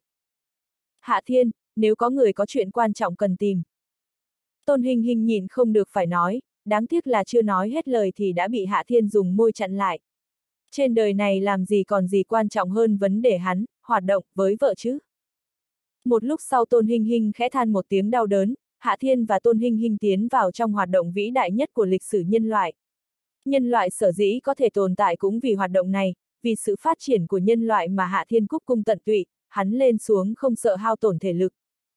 Mùi hương trong phòng ngủ ngày càng nồng, thậm chí còn có vài phần bay ra khỏi phòng ngủ, ngay sau đó cả phòng khách cũng tràn đầy mùi hương. Hạ Thiên đột nhiên cảm thấy nick nam của Tôn Hinh Hinh không nên là Hinh Hinh công chúa, phải là Hương Hương công chúa mới đúng. Hạ Thiên, nhẹ thôi, chị đau. Chị Hinh, em giúp chị chữa thương nhé. Ừ. Chị còn đau không? Hết rồi. Chúng ta tiếp tục nhé. Đừng nên mạnh quá, ừ. Những lời đối thoại như vậy lặp đi lặp lại khá nhiều lần trong đêm, mãi đến sáng sớm hai người mới ôm nhau ngủ trong cảm giác thoải mái vô hạn. Mà sáng nay Cục trưởng Hoàng Hải đào Cục Công an đang ngồi chết lặng trong phòng làm việc, sáng sớm đang ngủ bị đánh thức đến lúc này lão đã không nhớ rõ mình đã nhận bao nhiêu cuộc điện thoại. Hơn nữa những người điện thoại đến có chủ tịch thành phố, bí thư thị ủy, giám đốc công an tỉnh, thậm chí còn có cả bí thư ủy ban kỷ luật tỉnh ủy, phó chủ tịch tỉnh, chủ tịch tỉnh, bí thư tỉnh ủy. Trong ký ức của Hoàng Hải Đào thì từ khi nhận chức cục trưởng cục công an đến nay chưa bao giờ liên tiếp nhận được những cuộc điện thoại của các nhân vật khủng bố như vậy, mà bây giờ chỉ mất thời gian một buổi sáng đã nhận được tất cả các cuộc điện thoại như vậy. Nếu những người kia gọi điện thoại để khen thưởng thì lão sẽ rất vui sướng, nhưng vấn đề là ai cũng điện thoại đến mắng, người nào cũng mắng vài câu xối xả, vì vậy lão không thể nào vui nổi, thậm chí còn sinh ra cảm xúc muốn nhảy lầu. Đám cán bộ lãnh đạo kia mắng Hoàng Hải Đào cũng vì một cái tin nhắn, cụ thể mà nói chỉ là một tin nhắn rác, mà tin nhắn kia vốn không có vấn đề, nhưng khốn nổi tin nhắn đó lại được gửi đến số điện thoại của các quan lớn. Thực tế là một cục trưởng cục công an như Hoàng Hải Đào cũng nhận được. Người đẹp cô đơn cần được sưởi ấm, một dù 300, bao đêm 500, đưa hàng đến thăm. Đây là nội dung tin nhắn kia, sau đó còn có một tấm ảnh rất khêu gợi, còn có thêm một dãy số điện thoại liên lạc. Tuy mỗi năm đều có đợt truy quét các tệ nạn xã hội, nhưng những vấn đề này khó thể cấm đoán hoàn toàn, vì vậy nếu không quá ồn ào thì nhiều khi cục công an cũng nhắm một mắt mở một mắt cho qua. Nhưng bây giờ tin nhắn này còn đưa đến cả điện thoại của bí thư tỉnh ủy, đúng là quá ngông cuồng, Hoàng Hải Đào thân là cục trưởng cục công an, tất nhiên sẽ bị mắng là không làm tốt công tác truy quét tệ nạn xã hội. Hoàng Hải Đào bị mắng xối xả mà cảm thấy điên cả người, lúc này lão phải tìm ra bằng được thằng chó chết đã nhắn tin rác khốn nạn kia. Hoàng Hải Đào ngồi trong phòng làm việc 5 phút đồng hồ, cuối cùng cũng không còn cuộc điện thoại nào khác, vì vậy lão mới thở phào một hơi, xoa xoa đầu, sau đó rời khỏi phòng làm việc đi đến khu hành chính của đội cảnh sát hình sự số 6. Băng băng, có chuyện muốn giao cho cô. Hoàng Hải Đào tìm được lãnh băng băng, đây không phải là án lớn nhưng lại kinh động quá nhiều nhân vật tai to mặt lớn, vì vậy lão muốn để cho lãnh băng băng đi làm, như vậy lão cũng yên tâm hơn. Nhưng Hoàng Hải Đào nói ra thì vẻ mặt của tất cả cảnh sát đội cảnh sát hình sự số 6 chợt trở nên kỳ quái, vẻ mặt lãnh băng băng lại càng quái dị. Cục trưởng, chú, chú nói, tin nhắn kia, có rất nhiều người nhận được sao? Lãnh băng băng không nhịn được phải hỏi một câu. Không sai, tôi cũng nhận được. Hoàng Hải Đào gật đầu. Đội trưởng, tôi cũng nhận được. Có người tiếp lời. Đúng vậy, tôi cũng nhận được. Tôi cũng nhận được, tôi còn điện thoại qua số kia. Mọi người trong văn phòng đều lên tiếng, thì ra ai cũng nhận được tin nhắn kia. Lãnh băng băng chợt ngẩn ngơ, nàng thì thào. Lưu manh đắc tội với ai mà đáng sợ như vậy? Hoàng Hải Đào nghe thấy như vậy thì nhíu mày. Băng băng, cháu nói vậy là có ý gì? Chẳng lẽ, cháu có đầu mối gì sao? Cục trưởng, chú hãy nhìn kỹ số điện thoại, chắc chú cũng biết. Lãnh băng băng có chút chần chừ, cuối cùng nàng cũng nói. Cái gì? Hoàng Hải Đào có chút tức giận. Băng băng, cháu nói gì vậy? Tôi đường đường là cục trưởng cục công an, sao có thể quen biết với loại khốn kiếp này? Cục trưởng, chú hiểu lầm rồi. Lãnh băng băng chỉ vào dãy số. Dãy số này, Hạ Thiên. Sao? Đầu tiên Hoàng Hải Đào có chút sững sờ, ngay sau đó lão tranh thủ lấy điện thoại ra nhìn kỹ dãy số, vì vậy mà có chút sở khóc sở cười. Cái này, đây đúng là số điện thoại của Hạ Thần Y sao? Những cảnh sát khác cũng không nhìn được phải xứng sờ, số điện thoại để lại trong tin nhắn là của Hạ Thiên sao? Người đẹp cô đơn gợi cảm là Hạ Thiên à? Vì vậy mà mọi người chợt ớn lạnh. Cục trưởng, có thể có người chơi khăm, trước tiên cháu đến hỏi thăm Hạ Thiên cái đã. Lãnh băng băng mở miệng nói, tối qua nàng nhận được tin nhắn này còn tưởng rằng Hạ Thiên muốn chọc mình. Nào ngờ lúc này nàng phát hiện ra không chỉ một người nhận được tin nhắn, chỉ cần nhìn tình cảnh lúc này thì biết, có lẽ toàn bộ mọi người trong thành phố Giang Hải đều nhận được. chương 156, Mễ Hồng mất tích. Lãnh băng băng đã vài lần điện thoại cho Hạ Thiên, đều nhận được lời nhắn tắt máy. Nàng suy nghĩ một lúc rồi điện thoại cho Kiều Tiểu Kiều. Chị băng băng, có chuyện gì thế? Đầu dây bên kia vang lên giọng nói mơ hồ của Kiều Tiểu Kiều. Tiểu Kiều, em có biết Hạ Thiên ở đâu không? Lãnh băng băng hỏi. Cậu ấy tắt máy rồi. Chồng em cũng không có ở đây, tối qua có lẽ anh ấy ngủ cùng với chị Hinh. Kiều Tiểu Kiều ngáp một cái. Chị băng băng, em đang buồn ngủ, em ngủ trước. Kiều Tiểu Kiều cúp điện thoại, lãnh băng băng nhanh chóng tìm được số điện thoại của Tôn Hinh Hinh, nàng lại gọi đến. Số thuê bao quý khách vừa gọi tạm thời đang nằm đè một thuê bao khác. Âm thanh tắt máy làm lãnh băng băng nhíu mày, tên lưu manh kia ở cùng với Tôn Hinh Hinh, cả hai cùng tắt máy, đang làm gì vậy? Cục trưởng, tạm thời không tìm được Hạ Thiên, trước tiên cháu sẽ liên lạc với vài công ty viễn thông, tìm người gửi tin nhắn rồi nói sau. Lãnh băng băng dùng giọng bất đắc dĩ nói. Được, băng băng, vụ này ảnh hưởng rất ác liệt, cháu cần ưu tiên xử lý. Hoàng Hải Đào cũng biết đây không phải là vụ án gì có tính chính thức, nhưng nếu không có câu trả lời cho cấp trên thì rất khó ăn nói. Vâng, Cục trưởng. Lãnh băng băng lên tiếng, ngay sau đó bắt đầu điều tra. Chẳng lâu sau lãnh băng băng đã biết tối qua công ty viễn thông bị hacker xâm nhập, mà hacker cũng không làm gì, chỉ phát đi một tin nhắn cho toàn thể các số di động trong thành phố Giang Hải. Hơn nữa lúc này công ty viễn thông đã báo lên phòng cảnh sát an ninh mạng, còn hacker là ai thì đội cảnh sát an ninh mạng bên kia cũng không tìm ra manh mối. Lại là hacker sao? Lãnh băng băng tự nhiên nhớ đến lần trước Tôn Hinh Hinh bị bắt vào đội cảnh sát an ninh mạng, trực giác nói cho nàng biết hai chuyện này do cùng một hacker làm ra. Nhưng Lưu Manh Hạ Thiên đắc tội với một hacker lợi hại như vậy từ khi nào? Sau khi biết vụ này có liên quan đến hacker, lãnh băng băng cảm thấy án này không có chuyện gì, tất nhiên những phần tiếp theo phải do đội cảnh sát an ninh mạng xử lý. Nhưng theo nàng thì có lẽ đội cảnh sát an ninh mạng sẽ không tìm được hacker, vì vậy vấn đề quan trọng nhất lúc này là liên hệ với công ty viễn thông để giải quyết tốt hậu quả.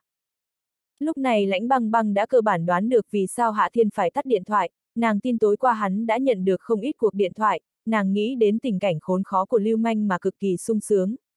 Tên Lưu Manh chết tiệt này cuối cùng cũng thảm bại, sau này sợ rằng khó thể tiếp tục dùng số điện thoại kia. Đội trưởng lãnh. Một người cảnh sát trung niên tiến vào, đây là tổ trưởng tổ trọng án cát lỗi. Lãnh băng băng còn đang hả hê trong lòng thì nhìn thấy cát lỗi, nàng không khỏi cảm thấy kinh ngạc. Tổ trưởng cát, tìm tôi có chuyện gì? Cát lỗi có chút ngượng ngùng. Đội trưởng lãnh, chuyện này đáng lý không nên tìm chị, nhưng ngoài tìm chị hỗ trợ thì tôi cũng chẳng biết làm thế nào cho phải. Lãnh băng băng càng buồn bực. Tổ trưởng Cát, rốt cuộc có chuyện gì? Đội trưởng Lãnh, có một vụ án cần Hạ Thiên hỗ trợ điều tra, mà chúng tôi không thể nào tìm cậu ấy. Chị cũng biết rồi đấy, địa chỉ trên giấy chứng minh của cậu ấy là giả, điện thoại cũng không liên lạc được. Cát lỗi nói ra nguyên nhân, thì ra hắn đến tìm lãnh băng băng là vì Hạ Thiên. Nhưng lần này lãnh băng băng cũng không muốn giúp.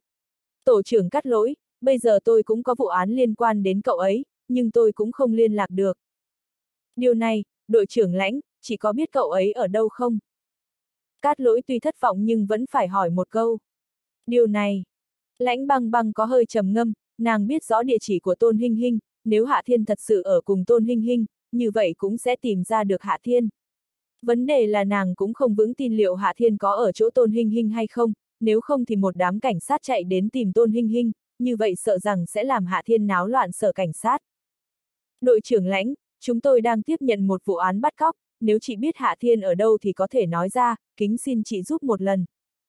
Cát lỗi vẫn rất khách khí, nếu là người thường thì hắn sẽ trực tiếp dùng thân phận cảnh sát để ép phải trả lời, nhưng lãnh băng băng không phải là người thường, nàng còn có cấp bậc cao hơn hắn, vì vậy phải xin được giúp đỡ. Hắn bắt cóc sao? Lãnh băng băng kinh hoàng. Tổ trưởng Cát, là ai bị bắt cóc? Cát lỗi suy nghĩ một chút rồi nói. Là bà chủ của quán ba thiên hậu, là Mễ Hồng. Cô ta sao? Vẻ mặt lãnh băng băng chợt biến đổi. Có biết chị ta bị ai bắt cóc không? Cát lỗi lắc đầu. Tạm thời còn chưa rõ ràng, thật ra bây giờ cũng chưa thể định tính là bắt cóc, Mễ Hồng chẳng qua chỉ mất tích. Nhưng tối qua Mễ Hồng và Hạ Thiên có xung đột ở quán ba thiên hậu, vì vậy Hạ Thiên cũng là đối tượng tình nghi, dựa theo trình tự kiểm tra thì chúng tôi phải tìm cậu ấy hỏi thăm. Phương sở đâu? Lãnh băng băng nhìn không được phải hỏi một câu. Chẳng lẽ anh ta cũng bị mất tích? Cát lỗi cười khổ. Anh ta bị Hạ Thiên đánh bị thương, bây giờ còn đang ở trong bệnh viện, thực tế thì người báo cảnh sát là anh ta, anh ta xác nhận Mễ Hồng bị bắt cóc. Lãnh băng băng trầm ngâm một lúc lâu, sau đó nàng nói. Tổ trưởng Cát, trước tiên anh có thể đến tìm Tôn Hinh Hinh, nếu có thể tìm được nàng thì sẽ tìm ra được Hạ Thiên. Tôn Hinh Hinh sao?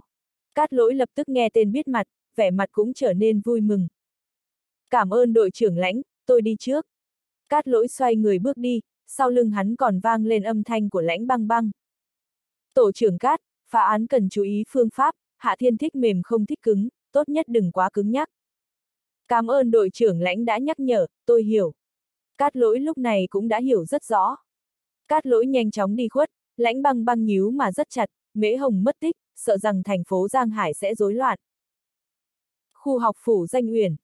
Ninh Linh nhìn không được phải nhìn đồng hồ, sau đó lại nhìn cửa phòng ngủ của Tôn Hinh Hinh, cửa vẫn đóng chặt. Bây giờ đã hơn 10 giờ, Thiên ca và chị Hinh còn chưa thức dậy sao? Trước đó tứ thúc đã căn dặn nhiệm vụ của Đinh Linh là theo chân Tôn Hinh Hinh, vì vậy Tôn Hinh Hinh ở đâu thì nàng theo đó, bây giờ Tôn Hinh Hinh còn ở nhà, tất nhiên Đinh Linh phải ở nhà. Keng, keng, tiếng chuông cửa vang lên. Đinh Linh vội vàng đứng lên, nàng nhìn ra ngoài qua mắt phòng, nàng thấy một nam một nữ cảnh sát, vì vậy mới mở cửa ra. Chào, xin hỏi các người tìm ai? Đinh Linh khách khí hỏi. Xin hỏi đây có phải là nhà của Tôn Hinh Hinh không? Người cảnh sát trung niên hỏi, người này là cắt lỗi, vì hắn suy xét Tôn Hinh Hinh là phụ nữ nên cố ý đưa đến một cảnh sát nữ. Đúng, là chỗ này. Ninh Linh gật đầu. Nhưng, nhưng chị Hinh còn chưa ngủ dậy, xin hỏi các người đến tìm có chuyện gì? Là thế này, tôi là tổ trưởng cắt lỗi tổ trọng án đội cảnh sát hình sự, đây là đồng chí Bao Tiểu Đào, là đồng sự của tôi, đây là giấy chứng nhận. Chúng tôi có vài vấn đề cần hỏi tôn tiểu thư. Cát lỗi lấy ra giấy chứng minh thân phận, giọng nói vẫn rất khách khí. Đúng là không có biện pháp, tuy hắn hiểu cô gái trước mặt không phải là Tôn Hinh Hinh, nhưng người này ở cùng phòng với Tôn Hinh Hinh, vì vậy không cần phải chọc giận, để tránh chọc giận Hạ Thiên. À, mời hai vị cảnh sát vào nhà. Ninh Linh cuối cùng cũng mời hai người cát lỗi vào phòng khách, nàng nhìn phòng ngủ mà cảm thấy có chút khó khăn. Cảnh sát, sự việc rất quan trọng sao? Chị Hinh còn chưa thức dậy, nếu không phải chuyện quan trọng thì tôi cũng không dám đánh thức chị ấy. Ninh Linh dù là người trong thôn đến nhưng cũng đã 18 tuổi, cô gái 18 tuổi đã biết rất nhiều chuyện, hơn nữa trước đó nàng đã từng làm trong quán karaoke, vì vậy càng hiểu rõ nhiều chuyện. Hiệu quả cách âm của phòng tôn hình hình không quá tốt, những âm thanh tối qua truyền ra làm cho Đinh Linh phải tim đập chân run, cả đêm không ngủ ngon. Vì vậy nàng có thể dễ dàng suy đoán ra tối qua Hạ Thiên và Tôn Hinh Hinh đã làm gì bên trong. Không phải chuyện quan trọng thì chúng tôi đến đây tìm cô ấy sao? Nữ cảnh sát tên là Bao Tiểu Đào có chút mất hứng, chẳng lẽ đối phương đang ngủ thì bọn họ phải ngồi đợi sao? Bao Tiểu Đào, đừng nói lung tung. Cát lỗi quát, người này đúng là, trên đường đi đã nói rõ ràng rồi, nói nàng khách khí một chút, không ngờ bây giờ lại nổi nóng. Cát lỗi lại nhìn về phía Đinh Linh với vẻ mặt ôn hòa. Xấu hổ quá, thật ra chúng tôi tìm tôn tiểu thư cũng không có gì quan trọng, tiểu thư, tối cô ngủ ở đây sao? À, tôi là người phục vụ cho chị Hinh. Đinh Linh khẽ gật đầu. Vậy cho hỏi, tối qua Hạ Thiên có ở đây không? Cát lỗi hỏi. Đinh Linh gật đầu. Thiên ca đang ngủ bên trong, cũng chưa thức dậy. Điều này, xin hỏi một chút, cô biết tối qua Hạ Thiên về nhà lúc nào không? Cát lỗi suy nghĩ rồi nói. Biết, hơn 9 giờ. Ninh Linh trả lời rất nhanh. Sau đó còn đi ra không? Cát lỗi tiếp tục truy vấn. Ninh Linh có chút trần trừ. Không, Thiên ca và chị Hinh ở bên trong. Ninh Linh nói đến đây thì vẻ mặt không khỏi đỏ hồng, nàng có chút ngượng ngùng. Được rồi, cảm ơn cô, chúng tôi sẽ không tiếp tục quấy giày tôn tiểu thư. Nếu Hạ Thiên thức dậy thì làm phiền cô nói với cậu ấy một tiếng, nói cậu ấy điện thoại cho tôi, đây là số điện thoại của tôi. Cát lỗi không tiếp tục truy vấn, hắn đưa cho Đinh Linh một tấm danh thiếp, sau đó dẫn bao tiểu đào bỏ đi. Tổ trưởng, chúng ta về như thế này sao? Sau khi rời khỏi khu học phủ danh uyển thì bao tiểu đào cuối cùng cũng không nhịn được. Chúng ta không bắt người sao? Hạ Thiên không gây án, lại có người làm chứng, dù Mễ Hồng có bị cậu ấy bắt cóc thì chúng ta cũng không có biện pháp, cần gì phải bắt người. Cát lỗi có chút mất vui. Bao tiểu đào, trước đó tôi đã dặn cô, đã nói cô nhất định phải khách khí với tôn hình hình cơ mà. Đó nào phải là tôn hình hình. Bao tiểu đào khẽ phản bác một câu, trong lòng cũng chẳng nghĩ ra, dù sao nàng cũng là cảnh sát hình sự, có cần phải sợ tên hạ thiên kia không? Cát lỗi lắc đầu mà không muốn nói thêm điều gì, nhưng trong lòng hắn đã sớm có quyết định, sau này ra ngoài cũng không nên mang theo bao tiểu đào, đây là người làm hỏng việc nhiều hơn thành công. Cát lỗi đang suy nghĩ thì điện thoại vang lên, hắn tiện tay nhận máy, trong điện thoại vang lên một âm thanh lo lắng. Tổ trưởng, không tốt, đã không còn thấy mặt phương sở. chương 157, quyến rũ trời sinh. Đến trưa chật thì Hạ Thiên mới tỉnh, nguyên nhân do quá đói. Dù hắn có thể không ăn trong 7 ngày nhưng cũng không có nghĩa là không đói, chẳng qua chỉ nhẫn nhịn chịu đói qua 7 ngày mà thôi. Tôn Hình Hình ở bên cạnh vẫn còn ngủ say, Hạ Thiên dùng ánh mắt tham lam nhìn thân thể trần như nhộng của nàng, cuối cùng hắn cũng không muốn đánh thức nàng. Hắn lẳng lặng rời khỏi giường rồi mặc quần áo rời khỏi phòng ngủ. Thiên ca, anh đã ngủ dậy rồi à? Ninh Linh đang ngồi ở phòng khách không có việc gì làm, nàng vội vàng đứng lên nói. Thiên ca, bây giờ đã đến chưa, có nấu cơm không? Nấu cơm đi, anh đói quá, nấu nhiều một chút. Hạ Thiên vì đói mà thức dậy, tất nhiên hắn muốn ăn cơm. Vâng, Thiên ca. Ninh Linh vội vàng đứng dậy đi vào phòng bếp, nàng là con cái nhà nông, tất nhiên sẽ biết nấu cơm. Hạ Thiên vào nhà vệ sinh đánh răng rửa mặt, sau đó hắn quay lại phòng khách ngồi trên ghế salon xem TV đợi cơm chín. Đúng rồi, Thiên ca, sáng nay có một cảnh sát đến tìm anh, còn để lại danh thiếp, nhắn anh điện lại. Một lát sau Đinh Linh mới nhớ ra việc này, nàng chạy ra khỏi phòng bếp nói với Hạ Thiên. Hạ Thiên cầm lấy danh thiếp nhìn thoáng qua rồi ném sang một bên, không phải cảnh sát tỷ tỷ đến tìm, vì vậy hắn cũng không muốn điện thoại. Trên TV đang chiếu phim cừu và sói, Hạ Thiên xem hết một tập thì chuyển kênh, hắn cảm thấy quá giả dối, dù cừu có thông minh thì sao thoát khỏi miệng sói. Nhị sư phụ đã nói, trước mặt kẻ có thực lực tuyệt đối thì tất cả âm mưu quỷ kế chỉ là hổ giấy, cừu dù sao cũng là cừu, thế nào cũng có ngày bị sói nuốt.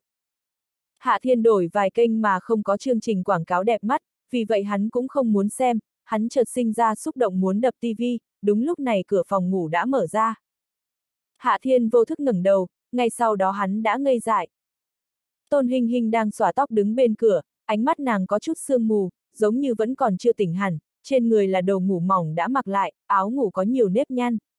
Đáng lý ra hình tượng này sẽ làm cho người ta cảm thấy rất bê bối, nhưng thực tế Tôn Hinh Hinh lại làm Hạ Thiên cảm thấy cực kỳ quyến rũ và hấp dẫn. Rõ ràng đây cũng không phải Hạ Thiên nhìn thấy Tôn Hinh Hinh, tối qua hắn còn nghiên cứu khắp toàn thân nàng rất nhiều lần, hắn xác định mình quen thuộc tất cả bộ vị trên người nàng. Nhưng bây giờ hắn lại cảm thấy giống như lần đầu tiên nhìn thấy Tôn Hinh Hinh, khi vừa mới rời khỏi giường hắn còn chưa phát hiện ra, nhưng bây giờ hắn cảm nhận được Tôn Hinh Hinh giống như thoát thai hoán cốt chỉ sau một đêm. Toàn thân Tôn hình hình bùng ra một sức quyến rũ vô tận đủ để cho đàn ông phải chôn vùi, mỗi cái nhăn mày và nụ cười của nàng đều cực kỳ đẹp. Hạ Thiên đột nhiên nhớ đến lời nói của đại sư phụ, trên đời này có một loại phụ nữ như vậy, quyến rũ trời sinh, trước khi nàng trở thành phụ nữ chính thức thì có vẻ trưởng thành hơn phụ nữ bình thường, mà khi các nàng trở thành phụ nữ chân trinh thì sẽ bùng ra sức quyến rũ khó tả, đủ để cho tất cả đàn ông phải chôn vùi. Rõ ràng Tôn Hinh Hinh là loại phụ nữ này, hơn nữa còn là cực phẩm trong số đó.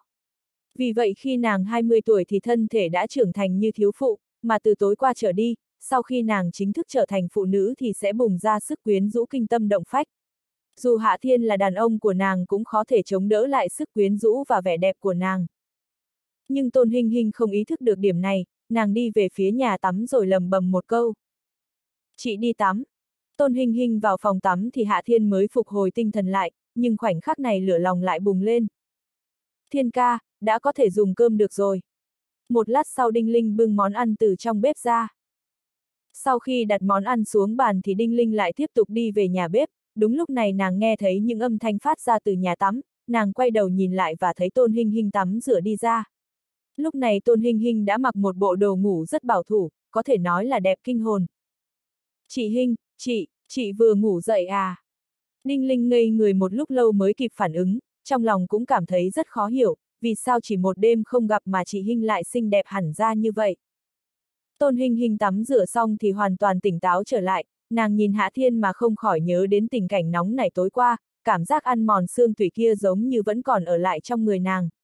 Trong lúc vô tình gương mặt nàng chợt đỏ hồng, dù tối qua nàng rất nhiệt tình trên giường nhưng bây giờ lại cảm thấy ngại ngùng. Tiểu sắc lang, không được phép nhìn chị như vậy. Tôn Hình Hình cảm nhận được ánh mắt nóng rực của Hạ Thiên mà nói lời hờn dỗi, trong lòng có chút xấu hổ, nàng đi đến bàn ăn ngồi xuống. Dùng cơm thôi. Tôn Hình Hình nhắc đến cơm làm Hạ Thiên cảm nhận được cơn đói, tối qua đã tiêu hao hết tinh lực, tuy nói vẻ đẹp có thể ăn được nhưng hắn cũng khó thể nuốt vợ vào bụng, vì vậy cơm cũng phải ăn. Căn cứ vào ý nghĩ căn cơm xong mới có sức, trả bài, cho vợ, Hạ Thiên bắt đầu dùng cơm.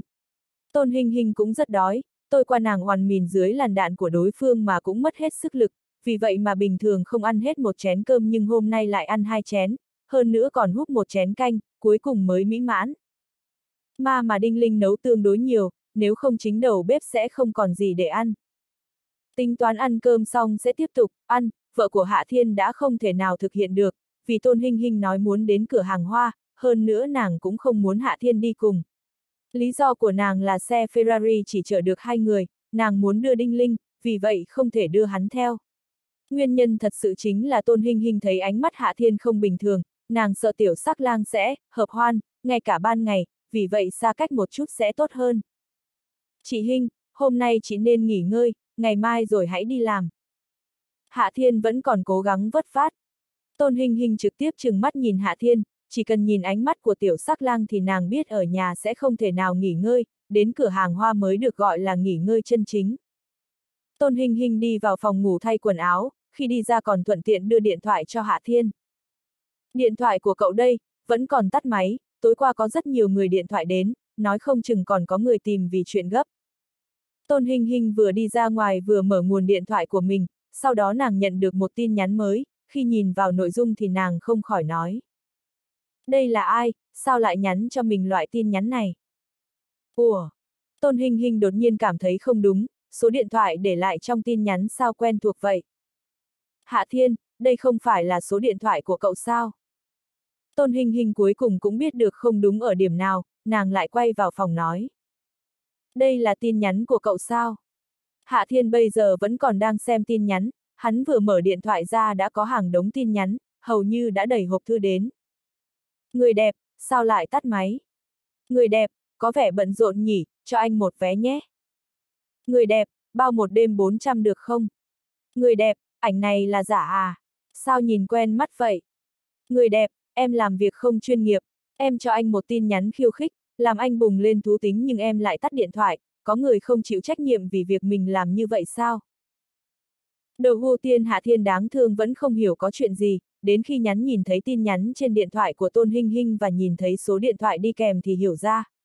Rõ ràng hắn bị người ta chơi xỏ, trách không được tối qua hắn đang, úp, lên vợ thì có nhiều người điện thoại đến như vậy. Tiểu yêu tinh chết tiệt, nhất định là nàng làm.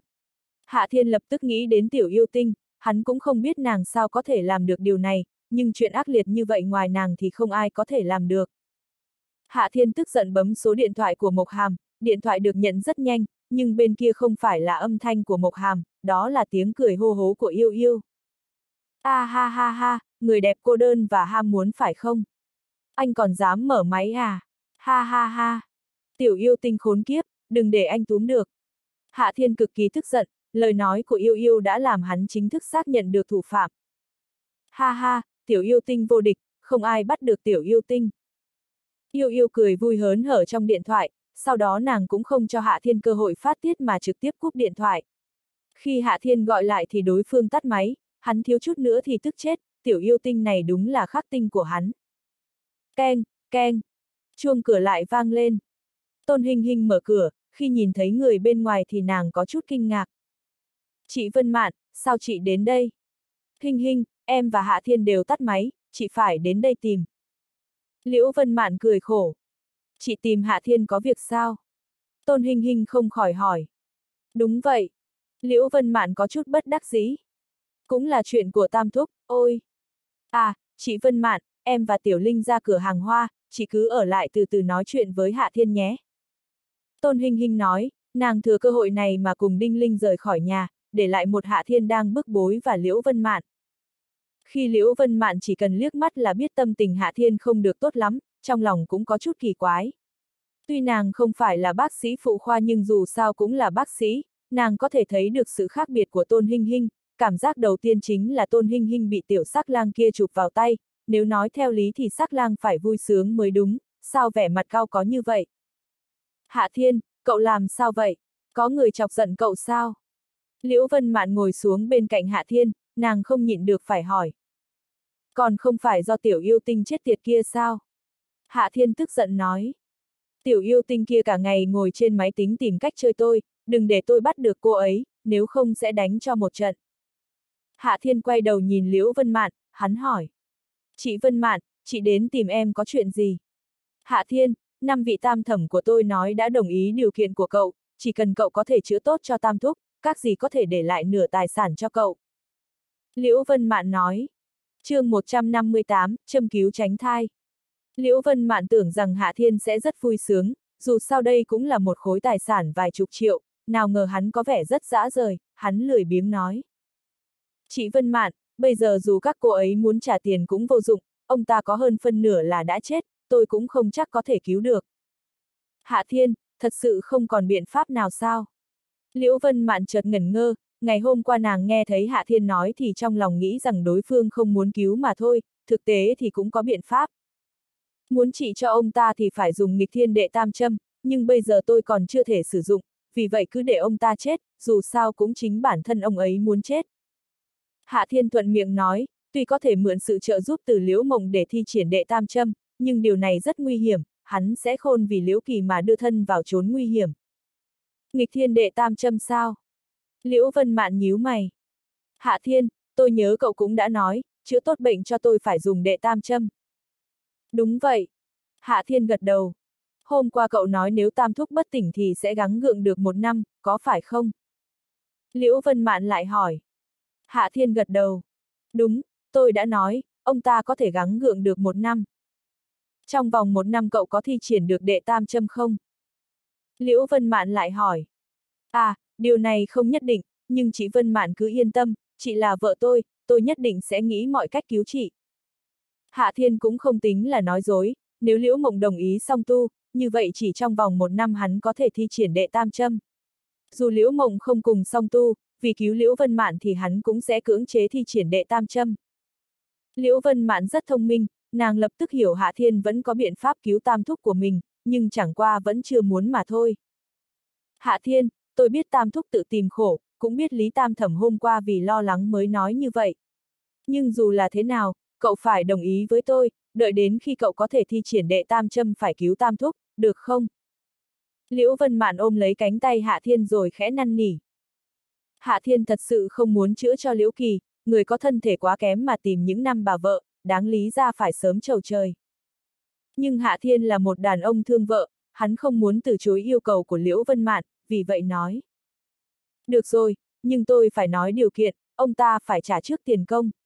Chị đi nói với những tam thẩm, trong vòng 3 ngày phải đưa tiền đến, sau này tôi sẽ chữa bệnh cho ông ta, nếu không thì cứ để ông ta chết đi. Liễu Vân Mạn nghe thấy điều kiện như vậy thì chợt ngây người, sau đó gật đầu.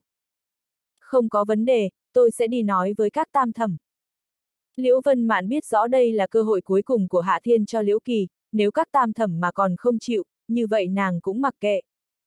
Ngày hôm qua Lý Tam Thẩm không tin Hạ Thiên, nàng đưa Tam Thúc đến bệnh viện, nhưng bệnh viện ra vẻ cứu giúp, ngay sau đó lại đưa ra thông báo bệnh tình nguy kịch, cuối cùng vẫn phải nhờ Liễu Vân Mạn đến tìm Hạ Thiên. Liễu Vân Mạn khá mệt mỏi vì vấn đề này, đáng lý ra chỉ là một việc đơn giản nhưng lại bị người nhà của Tam Thúc làm cho phức tạp, lúc đầu nếu ông ta không mở miệng đắc tội với Hạ Thiên, nào có kết cục bây giờ. Liễu Vân Mạn cầm lấy điện thoại, nàng điện thoại cho bà nội, nói điều kiện của Hạ Thiên, nàng cũng không muốn tự mình đi nói điều kiện với các tam thẩm. Hạ Thiên, tôi còn phải đến bệnh viện, cậu muốn ở đây hay ra ngoài?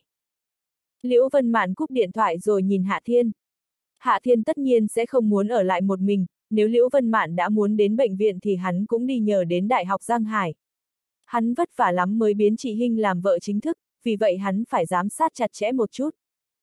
Trong cửa hàng hoa Hinh Hinh, Phương Hiểu như nhìn chằm chằm vào Tôn Hinh Hinh một lúc lâu, cuối cùng nàng cũng không nhịn được phải hỏi. Chị Hinh, có phải chị dùng đồ trang điểm cao cấp không? Sao mới một đêm không gặp mà chị xinh đẹp hẳn ra như vậy? Nói nhân cuội gì vậy? Tôi cũng giống như trước, sao lại đẹp hơn? Tôn Hinh Hinh chừng mắt nhìn Phương Hiểu Như. Chị Hinh, chị thật sự đẹp lên rất nhiều. Đinh Linh cũng khẽ nói một câu. Phải không? Tôn Hinh Hinh chợt ngẩn ngơ, Phương Hiểu Như nói thì nàng còn chưa tin, nhưng bây giờ Đinh Linh cũng nói, nàng có vẻ nửa tin nửa ngờ. Chị Hinh, chị không tin thì soi gương là biết. Phương Hiểu Như nói. Tôn Hình Hình trước đó đã nhìn qua mình trong gương nhưng không phát hiện ra mình có gì khác.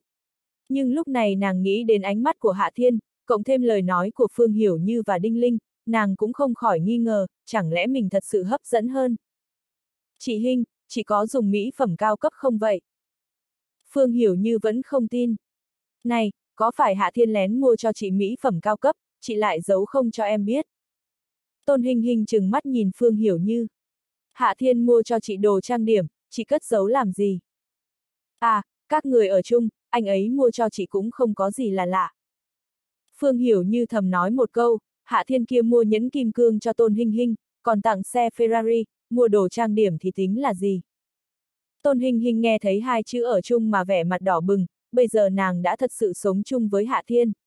Đúng lúc này trong đầu nàng chợt lóe lên một ý nghĩ vớ vẩn, chẳng lẽ mình đẹp hơn vì tối qua? Phi, nghĩ gì thế? Tôn hình hình thầm mắng mình, nhưng nàng không ngờ suy đoán của mình là sự thật. Á, à, không xong. Tôn hình hình đột nhiên nhớ đến một vấn đề. Hiểu như, em xem cửa hàng, chị đi mua ít đồ. Tôn hình hình vội vàng chạy ra ngoài, mới chạy vài bước thì đột nhiên nhào vào lòng một người, đồng thời bên tai còn vang lên âm thanh quen thuộc. Chị Hinh, chị nhớ tôi vậy sao? Tôn Hình Hình có chút dở khóc dở cười, nàng nhìn Hạ Thiên rồi gắt. Ai nhớ cậu? Nếu chị không nhớ thì sao tôi vừa đến đây, chị đã nhào vào lòng tôi rồi. Hạ Thiên cười hì hì nói. Đừng nghĩ chị không biết, nhất định là cậu có ý chắn đường. Tôn Hình Hình chừng mắt nhìn Hạ Thiên. Đừng làm rộn, chị phải đi mua thuốc, rất gấp. Hạ Thiên có chút mê hoặc. Chị Hinh, chị đến tiệm thuốc làm gì? Chị không khỏe ở chỗ nào? Tôi có thể chữa cho chị. Chị không có gì không khỏe cả. Tôn Hinh Hinh đỏ mặt, nàng hạ giọng. Cậu là sắc lang, còn không phải cậu làm ra sao? Chị phải đi mua thuốc tránh thai, nếu không có mang thì sao? Chị Hinh, chị không muốn có mang sao? Hạ Thiên Thuận miệng hỏi, giọng nói có hơi lớn, vì vậy Phương Hiểu Như ở bên trong cũng nghe được. Phương Hiểu Như chợt khoa trương. Sao, chị Hinh, chị có thai rồi à? Tôn Hình Hinh vừa thẹn vừa giận. Em nói gì vậy, ai nói em chỉ có mang? Chị Hinh, em vừa nghe Hạ Thiên nói. Phương Hiểu như cảm thấy rất vô tội. Em nghe không rõ, đừng nói bậy. Tôn Hình Hình tức giận nói, vì tránh Phương Hiểu như tiếp tục đoán mò, nàng dứt khoát nói. Chị chỉ lo mình mang thai, vì vậy đi mua thuốc tránh thai. Này chị Hinh, chị đã chung đụng với Hạ Thiên lâu ngày như vậy, bây giờ mới đi mua thuốc tránh thai, có phải quá muộn rồi không? Phương Hiểu như không nhịn được nói. Cái gì mà chung đụng nhiều ngày, tối qua chị mới. Tôn Hình Hình nhịn không được phải phản bác, nhưng sau đó nàng lại ngượng ngùng, nàng chừng mắt nhìn Phương Hiểu như. Audio điện tử võ tấn bền. Tóm lại em đừng nói bậy. À, chị Hinh, em không nói nữa là được. Phương Hiểu như luôn sợ thất nghiệp, vì vậy nàng không dám nói tiếp. Chị Hinh, chuyện mua thuốc cứ để em làm. Ninh Linh đi ra, nàng khẽ nói. Em còn nhỏ mà chạy ra mua thuốc tránh thai, người khác còn cho rằng tối qua em sinh chuyện. Tôn Hinh Hinh lắc đầu. Để chị đi. Chị Hinh, muốn tránh thai thì cũng không cần đi mua thuốc, tôi có biện pháp. Hạ Thiên nhìn không được phải nói. Cậu có biện pháp sao? Tôn Hinh Hinh có chút nghi ngờ. Chị Hinh, thuốc tránh thai đều có tác dụng phụ, tôi có thể châm cứu tránh thai, không có tác dụng phụ. Hạ Thiên trả lời. Tôn Hình Hình có chút không tin. Hạ Thiên, châm cứu tránh thai sao? Chị còn chưa nghe qua, mà cậu có nắp chắc không? Cậu không chắc thì chị đi mua thuốc sẽ hay hơn, chị cũng không muốn mang thai. Chị Hinh, chị cứ yên tâm, tôi là thần y. Hạ Thiên có vẻ tin tưởng 10 phần. Tôn Hình Hình suy nghĩ một chút, cuối cùng vẫn quyết định tin vào Hạ Thiên. Đồng thời nàng cũng thầm nói với chính mình, nếu tiểu sắc lang thật sự làm nàng có thai, như vậy nàng sẽ sinh con, sẽ để cho tiểu sắc lang không được yên tĩnh. Hạ Thiên, vậy cậu châm cứu cho chị đi. Thời gian đã hơi lâu, Tôn hình hình có chút lo lắng, vì vậy nàng thúc giục Hạ Thiên. Được. Hạ Thiên đáp ứng, hắn ôm Tôn hình hình vào cửa hàng hoa, sau đó thi châm cho nàng. Đối với hắn thì thi châm tránh thai rất đơn giản, chỉ cần một châm là giải quyết được ngay, cũng không có tác dụng phụ, tốt hơn dùng thuốc rất nhiều. Như vậy là xong sao? Phương Hiểu như nhìn Hạ Thiên đâm một châm vào gần rốn cho Tôn Hinh Hinh, cả quá trình chưa đến một phút, vì vậy mà không khỏi hoài nghi. Tất nhiên, nếu không tin thì anh sẽ có thể thi châm lên người em, đừng nói là tránh thai, thậm chí còn có thể tuyệt sản. Hạ Thiên thuận miệng nói. Tôn Hinh Hinh ở bên cạnh lại hoảng sợ. Á, Hạ Thiên, cậu, cậu không làm cho chị tuyệt sản đấy chứ. Bây giờ Tôn Hinh Hinh không muốn có con không có nghĩa là tương lai cũng vậy, chẳng qua lúc này nàng cảm thấy không thích hợp có con, dù sao nàng cũng thấy Hạ Thiên vẫn còn là một đứa bé. Không, chị Hinh, tôi chỉ nói có thể tuyệt sản, tôi nào có thể làm chị tuyệt sản được. Chị là vợ tôi, sao tôi có thể làm vậy? Hạ Thiên dùng ánh mắt kỳ quái nhìn Tôn Hinh Hinh, sao nàng lại nghĩ như vậy? Vậy thì tốt. Tôn Hinh Hinh khẽ thở ra. Phương Hiểu như lại bĩu môi, thì ra Tôn Hinh Hinh vẫn muốn sinh con cho Hạ Thiên chương 159, 7 lần, 8 lần hay 9 lần? Ai là Tôn Hinh Hinh? Ngoài cửa chợt vang lên một âm thanh. Mọi người quay đầu nhìn lại, lúc này ngoài cửa tiệm hoa xuất hiện một nam một nữ, cả hai đều hơn 30, nam rất tinh anh, nữ tướng mạo bình thường nhưng dáng người rất đầy đặn. Tôi là Tôn Hinh Hinh, xin hỏi các vị tìm tôi có chuyện gì? Tôn Hinh Hinh đón lời. Khi nhìn thấy Tôn Hinh Hinh thì người đàn ông kia chợt ngẩn ngơ, có lẽ bị vẻ đẹp của nàng làm cho kinh hoàng. Người phụ nữ thì có chút ngây ngốc, đồng thời trên mặt cũng có chút ghen ghét, đối phương đẹp đến mức làm nàng ghen ghét. Tôn Hinh Hinh, chúng tôi là quản lý khoa hậu cần của Đại học Giang Hải, đây là trưởng khoa trương. Người phụ nữ mở miệng nói. Hợp đồng 6 tháng thuê mặt bằng của cửa hàng hoa đã đến kỳ, chúng tôi không có ý cho cô tiếp tục thuê, vì vậy chúng tôi mới thông báo cho cô để chuẩn bị dọn đi. Đầu tiên Tôn Hinh Hinh cảm thấy sững sờ, tin tức này hoàn toàn nằm ngoài dự đoán của nàng, có thể nói là quá đột ngột, không chút dấu hiệu. Mãi nửa phút sau nàng mới kịp phản ứng, nàng dùng giọng khó hiểu hỏi. Sao lại như vậy? Trên hợp đồng đã ghi rõ, sau khi đến kỳ gia hạn hợp đồng, dưới điều kiện ngang nhau thì tôi sẽ có quyền lợi ưu tiên sao? Tôn Hinh Hinh, cô còn nói đến quyền ưu tiên dưới điều kiện ngang nhau sao? Năm xưa cô thuê cửa hàng này với giá 10.000 một năm, bây giờ có người tình nguyện trả một tháng 5.000, cô có thể trả được giá thuê này không? Người phụ nữ kia lạnh lùng nói, đáng lý ra nàng cũng không có thủ oán gì với Tôn Hinh Hinh, nhưng đối phương quá đẹp, điều này làm nàng coi Tôn Hinh Hinh là kẻ thù. Cái gì? Tôn Hình Hình còn chưa mở miệng thì Phương Hiểu Như đã la hoảng lên. Có lầm không đấy, một tháng 5 ngàn, một năm là 60 ngàn, cửa hàng này còn chưa tới 20 mét vuông, có quá mắc không? Nếu chê đắt thì đừng nói đến quyền ưu tiên. Người phụ nữ kia hừ một tiếng. Căn cứ vào hợp đồng thì đến ngày 14 tháng 8 sẽ đến hạn, bây giờ còn nửa tháng, cũng đủ thời gian cho các người tìm chỗ mới. Tôn Tiểu Thư, hôm nay chúng tôi đến thông báo với cô, đây là danh thiếp của tôi, nếu cô có thể trả tiền 5 ngàn một tháng, như vậy dựa theo hợp đồng thì chúng tôi sẽ ưu tiên. Trưởng khoa trương cuối cùng cũng nói, hắn đưa danh thiếp cho Tôn Hinh Hinh, ánh mắt vẫn không nỡ rời khỏi người nàng. Được, trưởng khoa trương, cảm ơn anh. Tôn Hinh Hinh tiếp nhận danh thiếp. Chúng tôi đi trước. Trưởng khoa trương cuối cùng cũng thu ánh mắt về, hắn dù sao cũng biết chừng mực, nhìn chằm chằm vào một người phụ nữ như vậy là không lịch sự. Không thể không nói người này rất may mắn, vì Hạ Thiên đã muốn đánh người, vợ hắn sao có thể cho đối phương nhìn chằm chằm lâu như vậy. Khi cặp nam nữ này quay đi thì Phương Hiểu như dùng giọng lo lắng hỏi Tôn Hinh Hinh. Chị Hinh, chị nói xem sao lại thế này.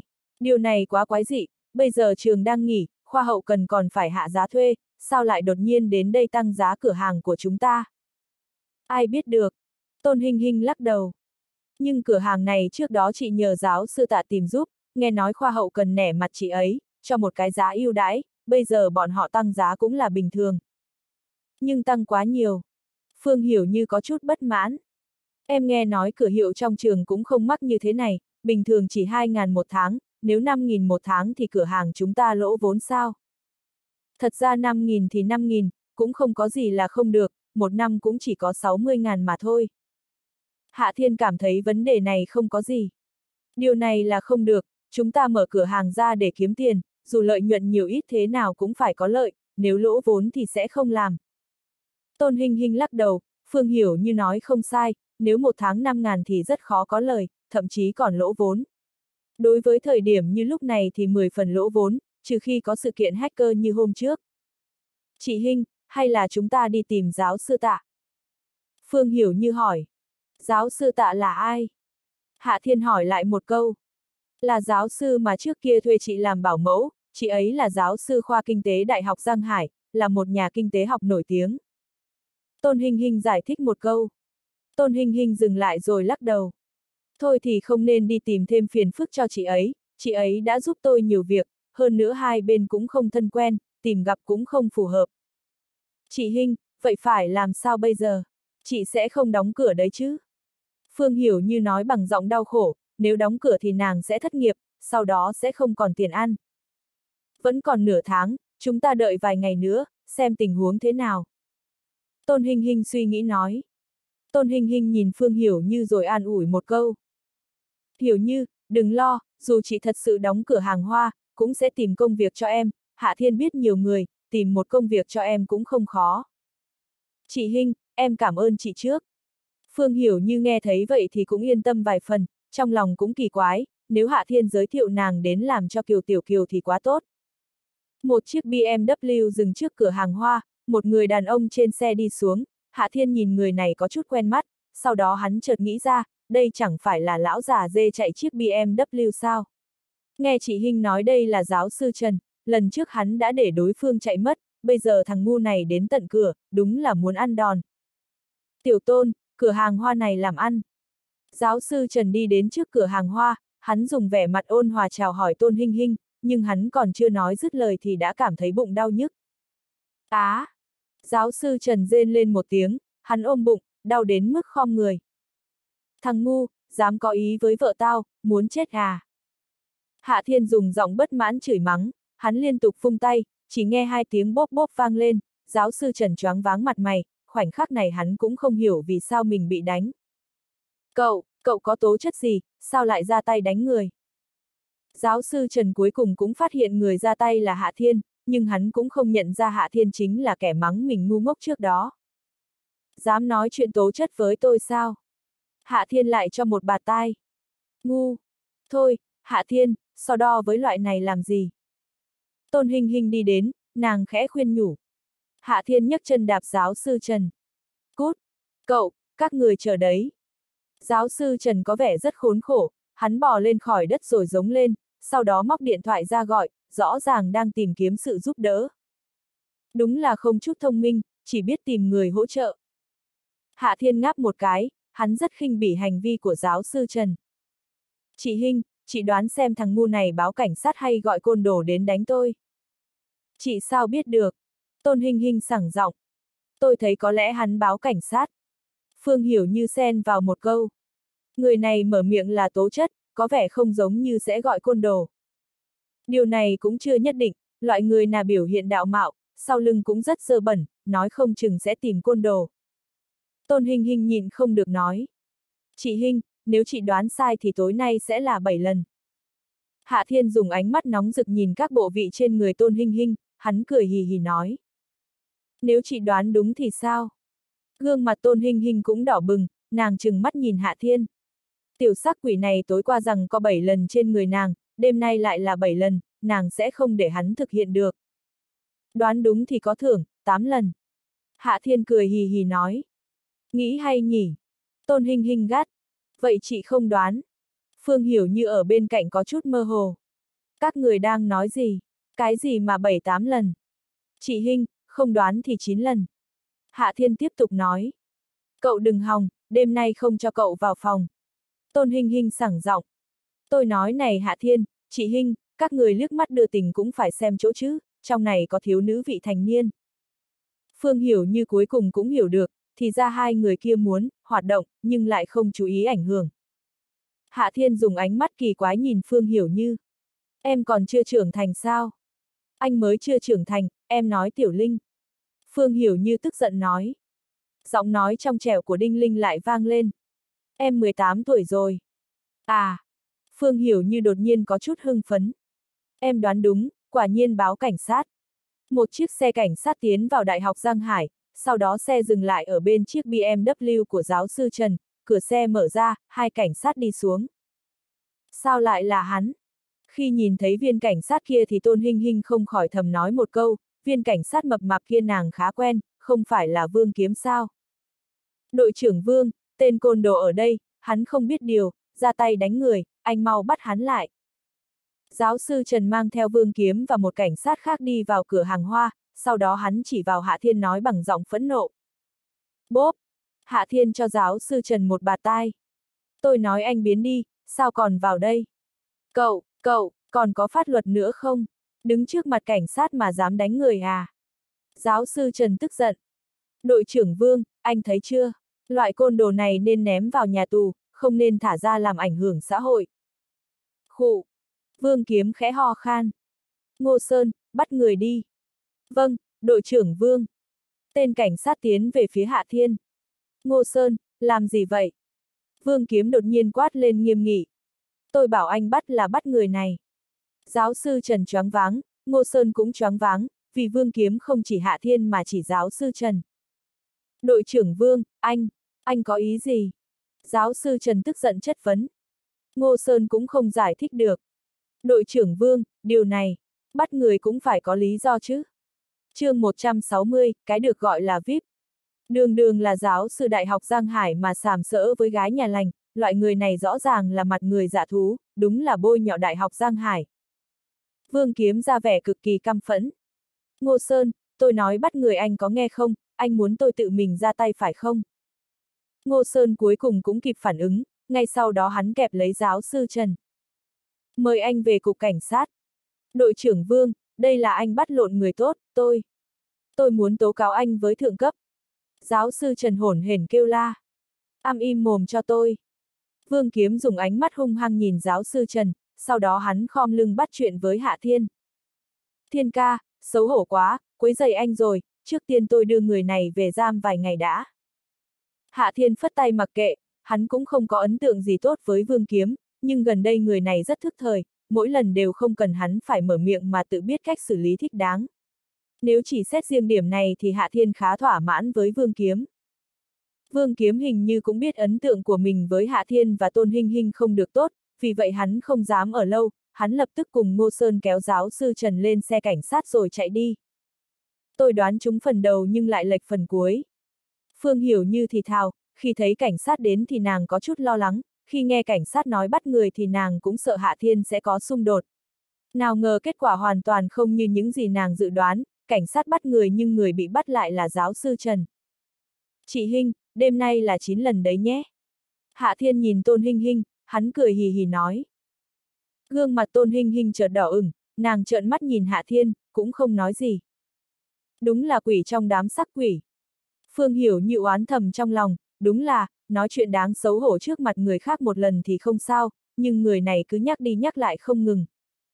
May mà lúc này điện thoại của Hạ Thiên đã vang lên, Phương Hiểu như cuối cùng cũng không lo lắng Hạ Thiên sẽ tiếp tục câu chuyện thảo luận cấm trẻ em dưới 18 tuổi với Tôn Hinh Hinh. Người điện thoại đến là Liễu Vân Mạn, nàng nói cho Hạ Thiên biết những tam thẩm kia đã đồng ý điều kiện, trước tiên có thể trả thù lao. Nhưng Liễu Kỳ có vài chục triệu nhưng tiền mặt lại không có nhiều, chủ yếu là tài sản công ty, cũng chính là nhà máy dược phẩm Liễu Thị.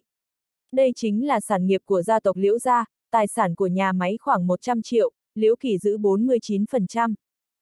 Nói cách khác Liễu Kỳ có tài sản gần 50 triệu nhưng không có số tiền mặt như vậy, vì thế những bà vợ của hắn muốn chuyển cho Hạ Thiên 24% cổ phần, mặt khác còn đưa cho Hạ Thiên 5 triệu tiền mặt. Tất nhiên các nàng cũng có điều kiện, đó chính là sau khi Hạ Thiên thu tiền thì phải chữa hết bệnh cho đám con trong nhà. Hạ Thiên cảm thấy lần này những bà vợ của Liễu Kỳ đồng ý rất nhanh, vì vậy hắn cũng đồng ý điều kiện của các nàng, dù sao trước kia hắn cũng đã đồng ý với Liễu Vân Mạn là sẽ chữa trị cho những đứa em họ kia. Hạ Thiên cũng không quan tâm đến vấn đề chỉ có 5 triệu mà không phải là 25 triệu, dù sao bây giờ hắn cũng không vội đòi tiền, sở dĩ hắn đưa ra đề nghị này cũng không phải vì tiền, chủ yếu là làm cho Liễu Kỳ khó chịu mà thôi.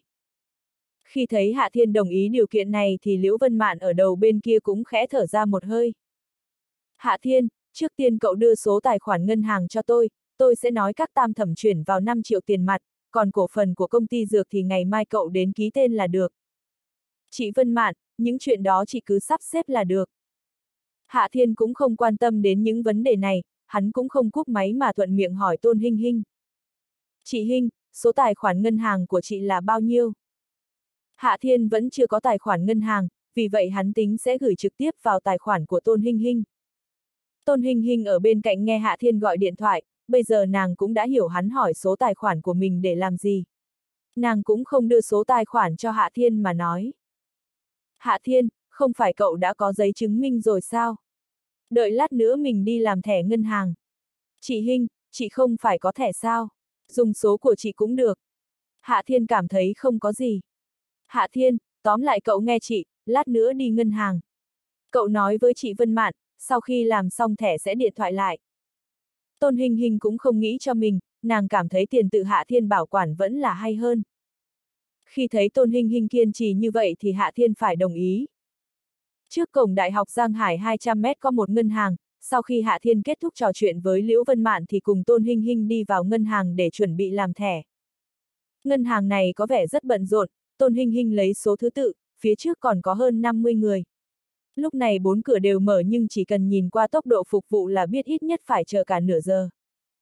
Tôn Hinh Hinh vốn đang định tìm một chỗ ngồi chờ nhưng căn bản không còn ghế trống, vì vậy cũng căn bản không cần xếp hàng, đành phải đứng đợi. Dưới sự chỉ đạo của Tôn Hinh Hinh thì Hạ Thiên điền đầy đủ thông tin vào tờ đơn, sau đó cũng chỉ có thể đứng chờ. Sau vài phút Hạ Thiên cảm thấy kỳ quái, hắn chỉ vào một cửa nói. Chị Hinh, sao cửa kia không có người? Đó là cửa dành cho khách VIP, chỉ có khách VIP mới được phục vụ ở bên đó. Tôn Hinh Hinh giải thích. Hạ Thiên không rõ. VIP là gì? Là khách quý. Tôn Hinh Hinh tiếp tục giải thích. Vài ánh mắt kỳ quái chĩa về phía Hạ Thiên, đây là loại nhà quê ở đâu mà cái gì cũng không biết như vậy. Những năm nay ở đâu cũng có VIP, ngân hàng có, siêu thị có, cửa tiệm cắt tóc cũng có, thậm chí cửa hàng khoai nướng ven đường cũng làm thẻ VIP. À, thì ra dành cho khách quý, tôi biết rồi. Hạ Thiên nói xong thì đi về phía cửa khách quý, hắn nhét đơn vào cửa nói. Chị gái, làm tôi một tấm thẻ. Người đẹp mặc đồng phục công sở ở cửa khách quý chợt ngẩn người, sau đó nàng dùng giọng khách khí nói. Tiên sinh, đây là cửa khách quý, nếu anh muốn mở tài khoản thì nên sang cửa bình thường. Chị gái, đây là cửa khách quý, tôi là khách quý của các người, tất nhiên tôi phải làm thẻ ở đây. Hạ Thiên nói với lý lẽ hùng hồn. À, tiên sinh, xin hỏi anh có thẻ khách quý không? Người đẹp mặc đồng phục không khỏi mở miệng hỏi. Đây không phải chỗ làm thẻ sao? Hạ Thiên nghĩ không ra, sao người này đần như vậy? Nếu mình có thể khách quý rồi thì cần gì phải đến đây làm? Tiên sinh, nếu anh không có thể khách quý thì chỉ có thể sang bên kia chờ được phục vụ. Người đẹp dùng giọng khách khí nói. Anh qua kia xếp hàng đi. Bên kia quá đông người, tôi không muốn xếp hàng. Hạ Thiên có chút mất hứng. Dù sao chị cũng không có việc gì làm, sao không làm thẻ cho tôi? Tiên sinh, đây là quy định của ngân hàng. Người đẹp giải thích. Quy định trời ơi gì vậy? Tóm lại chị làm cho tôi một cái thẻ. Hạ Thiên có chút không vui. Tiên sinh, anh đang cố tình gây chuyện sao? Người đẹp đã bắt đầu không nhịn được, người này làm gì vậy, không có thẻ VIP thì đừng giả vờ là kẻ có tiền. Hạ Thiên, đừng làm rộn. Tôn Hình Hình cuối cùng cũng phát hiện Hạ Thiên đã chạy đến cửa VIP, vì vậy nàng vội vàng chạy đến nói. Chỗ này phải có thẻ khách quý mới được. Bảo chị ấy làm cho một cái thẻ không được sao. Hạ Thiên có chút không phục.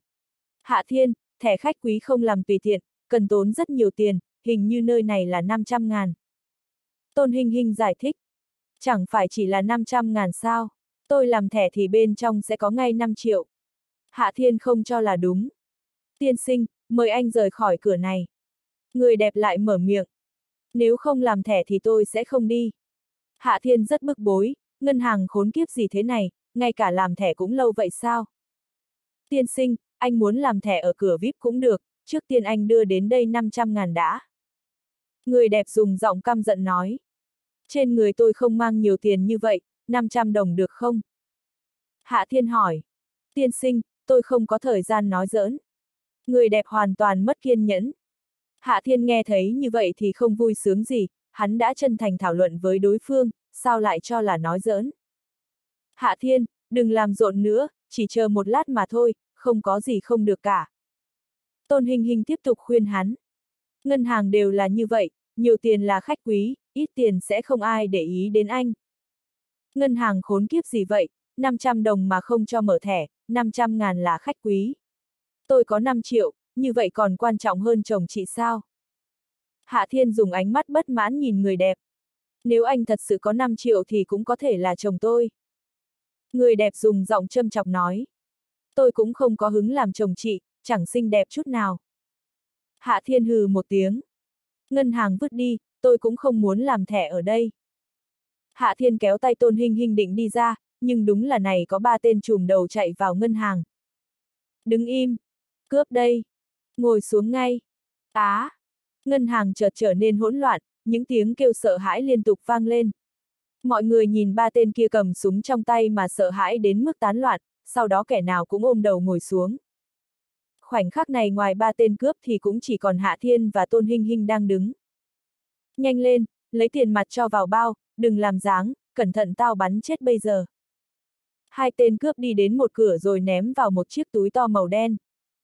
Tiền là của quốc gia nhưng mạng sống là của mình, chúng tao muốn tiền không thích lấy mạng ai. Tên cướp thứ ba chợt gào thét. Tên cướp thứ ba cuối cùng cũng phát hiện Tôn Hinh Hinh và Hạ Thiên vẫn còn đang đứng, sau đó hắn giống lên giận dữ với hai người. Nói hai người ngồi xuống, muốn chết sao? Mày mới muốn chết. Hạ Thiên tức giận nói. Mày cướp thì cứ cướp, đừng làm phiền tao. Hừ, tao xử lý mày trước. Bọn cướp lập tức chợt nổi giận, trời ạ, tên khốn này không có chút giác ngộ của con tin, bị súng chĩa vào mà còn kiêu ngạo như vậy sao? Đùng! Một tiếng súng chát chúa vang lên, ngân hàng lại vang lên những tiếng gào thét, còn có cả tiếng hét thảm. chương 161, không ngờ rằng mình trở thành cướp. Thằng ngu này! Khoảnh khắc này hầu như tất cả mọi người đều mắng Hạ Thiên, ngoài Tôn Hinh Hinh, vì Tôn Hinh Hinh biết rõ Hạ Thiên thật sự không sợ bọn cướp này. Nhưng tiếng súng đã nổ, đến khi đám người ngước mắt nhìn lên thì phát hiện Hạ Thiên và Tôn Hinh Hinh vẫn còn đứng nơi đó, người phát ra tiếng kêu thảm thiết lại chính là bọn cướp. Súng vốn cũng không nằm trên tay nhưng bây giờ lại đến tay Hạ Thiên, nhìn qua cũng thấy người vừa nổ súng vừa rồi có lẽ cũng là hắn, vì trên đùi tên cướp kia có một vết thương, máu tươi đang chảy ra. Cái quái gì vậy, trình độ kém quá. Hạ Thiên bắt đầu múa súng. Hai tên cướp còn lại cuối cùng cũng kịp phản ứng, khi đanh định hành động thì Hạ Thiên đã chĩa súng đến. Này, hai đứa chúng mày muốn cướp cũng không liên quan gì đến tao, đừng chọc thì tao sẽ đi, hiểu không? Khi thấy khẩu súng chĩa vào mình thì hai tên cướp thiếu chút nữa đã vứt vũ khí đầu hàng, nhưng khi Hạ Thiên nói như vậy thì chợt sinh ra cảm giác trời sập. Hiểu, người anh em, chúng ta nước sông không phạm nước giếng, chúng tao tiếp tục, còn mày thì tùy ý. Một tên cướp nhanh chóng nói, sau đó hắn dùng súng đập lên cửa sổ. Nhanh lên cho tao. Nhân viên ngân hàng vốn nghĩ rằng có người ra tay nghĩa hiệp, đang rất vui sướng, không ngờ người kia không thu phục bọn cướp, căn bản là mặc kệ. Vì vậy mà nàng còn chưa kịp lên thiên đường đã bị kéo xuống địa ngục, cũng chỉ còn biện pháp ngoan ngoãn lấy tiền cho bọn cướp. Nhưng lúc này còn có hạ thiên nên hai tên cướp còn lại cũng rất kiêng kỵ. Khi hai tên cướp thấy đã đủ tiền thì vội vàng cầm lấy chạy đi, nhưng hai tên này cũng không nghĩ đến tình anh em, tên cướp bị thương cũng bị ném lại. Khi hai tên cướp nào vừa đi thì bảo vệ ngân hàng lập tức trổ tài năng bắt tên cướp đáng thương này lại. Cảnh sát đến rất nhanh, vì vậy Hạ Thiên còn chưa kịp đi thì đã bị một đám cảnh sát vây lại trong ngân hàng.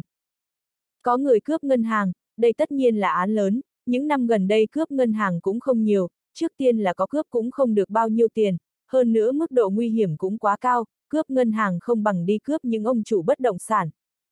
Cảnh sát, bọn họ cũng là cướp.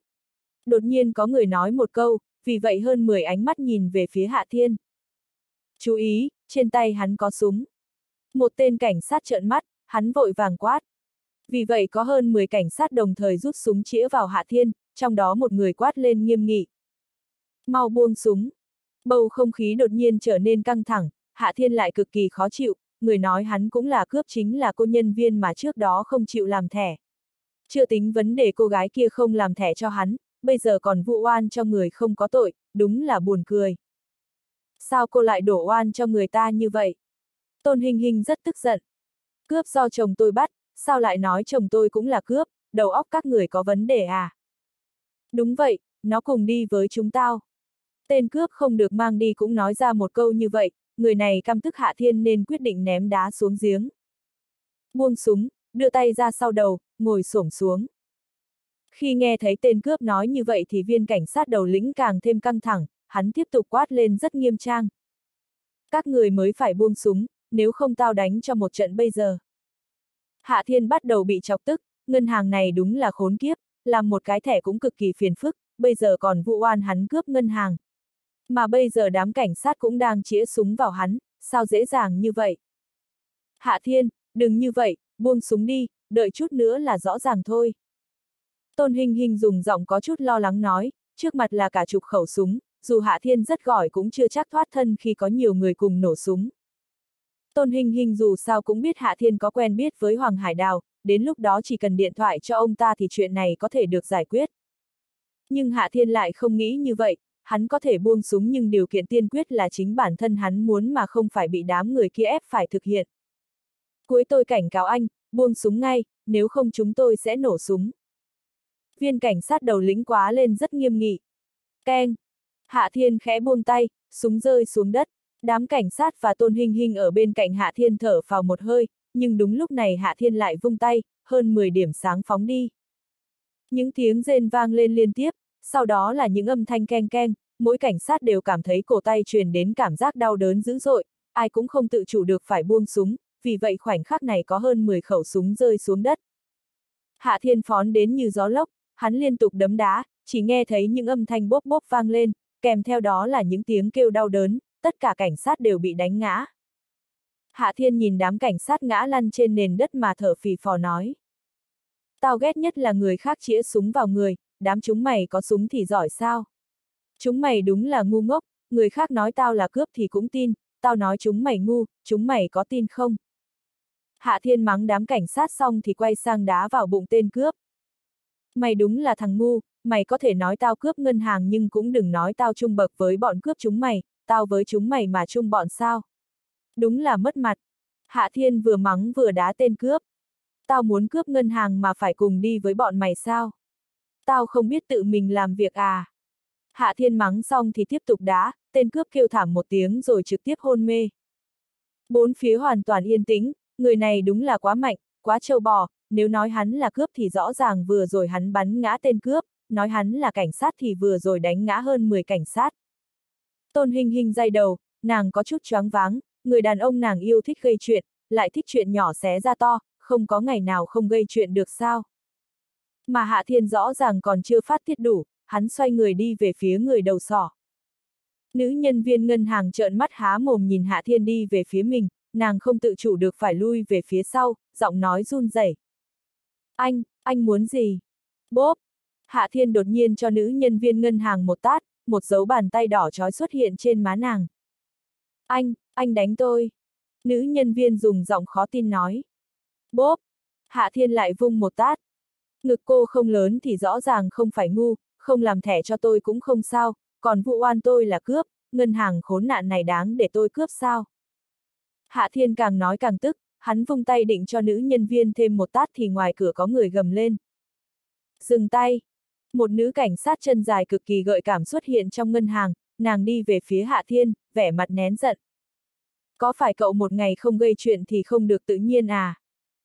Nữ cảnh sát này chính là lãnh băng băng, ngân hàng bị cướp, đội cảnh sát hình sự cục công an phải tiếp nhận, mà lãnh băng băng vừa vặn là người phụ trách vụ án đặc biệt này. Cảnh sát tỷ tỷ, là bọn họ chọc giận tôi trước. Hạ Thiên có chút không phục, hắn chỉ đến đây làm thẻ mà thôi. Cảnh sát, người này đi cùng bọn cướp, chị mau bắt hắn lại. Nữ nhân viên dùng giọng tức giận tố cáo Hạ Thiên. Đi, theo tôi về đồn. Lãnh băng băng quát lên với Hạ Thiên, tuy nàng không tin hắn đi cướp ngân hàng nhưng vẫn cảm thấy nên bắt về rồi nói sau. Hạ Thiên không có ý kiến gì với vấn đề này, hắn rất thích được ở cùng cảnh sát tỷ tỷ trong đồn. Hắn đi về phía đám cảnh sát đang nằm trên mặt đất. Này, vươn tay phải ra. Cậu còn định làm gì? Lãnh băng băng tức giận chất vấn. Hạ Thiên dùng ánh mắt vô tội nhìn lãnh băng băng. Cảnh sát tỷ tỷ, ngân châm của tôi trên tay bọn họ. Ngân châm gì? Lãnh băng băng cảm thấy khó hiểu. Hạ Thiên trực tiếp nhấc tay phải một cảnh sát lên, sau đó lãnh băng băng phát hiện trên cổ tay người này có một cây ngân châm cắm vào, mà đám người bên ngoài cũng nhìn Hạ Thiên bằng ánh mắt nhìn quái vật, thì ra người này dùng ngân châm đánh ngã cảnh sát. Hạ Thiên nhanh chóng thu lại ngân châm dưới ánh mắt không tưởng của mọi người. Đây là thứ tốt, có thể chữa bệnh, cũng có thể giết người, đây chính là thần khí chuẩn bị để đánh những tên có gan cướp vợ hắn. Lý Bình, anh phụ trách ở đây, người bị thương đưa đến bệnh viện, không bị thương thì lấy lời khai, phái thêm hai người canh chừng tên cướp kia ở bệnh viện. Lãnh băng băng nói một câu, sau đó dẫn Tôn Hinh Hinh và Hạ Thiên rời khỏi ngân hàng. Lý Bình nhìn 10 tên cảnh sát đang tức giận mà lắc đầu, sau đó hắn đi về phía tên đầu lĩnh. Thảo Quốc, các anh làm gì vậy, sao lại xung đột với Hạ Thiên? Người này chính là đội trưởng phân cục cảnh sát hình sự quận Đông, tên là Trương Thảo Quốc, có quan hệ cá nhân rất tốt với Lý Bình. Tiểu tử kia là Hạ Thiên sao? Trương Thảo Quốc vẫn còn bụng lấy cổ tay phải, chỗ đó vẫn còn đau. Bình ca, anh biết hắn sao? Tất nhiên, là người quen của cục cảnh sát. Lý Bình lắc đầu. Thảo Quốc, các anh quá xui xẻo rồi, không chọc ai lại chọc cậu ấy, coi như xong. Cái gì, sao lại coi như xong? Trương Thảo Quốc có chút tức giận. Bình ca, như vậy sao được? Dù tiểu tử kia không phải là cướp, nhưng vừa rồi đánh cảnh sát bị thương, cứ buông tha như vậy sao? Thảo Quốc, chưa nói đến vấn đề truy cứu trách nhiệm, anh nói tình huống xem nào, rốt cuộc có chuyện gì xảy ra? Sao các anh lại gây náo loạn với Hạ Thiên? Lý Bình có chút mơ hồ, có người cướp ngân hàng, sao lại để Hạ Thiên náo loạn với cảnh sát? Mười phút sau thì Lý Bình cuối cùng cũng biết rõ sự việc, sau đó hắn dùng ánh mắt căm tức nhìn nữ nhân viên ngân hàng. Cô là Đỗ Ngọc Tinh sao?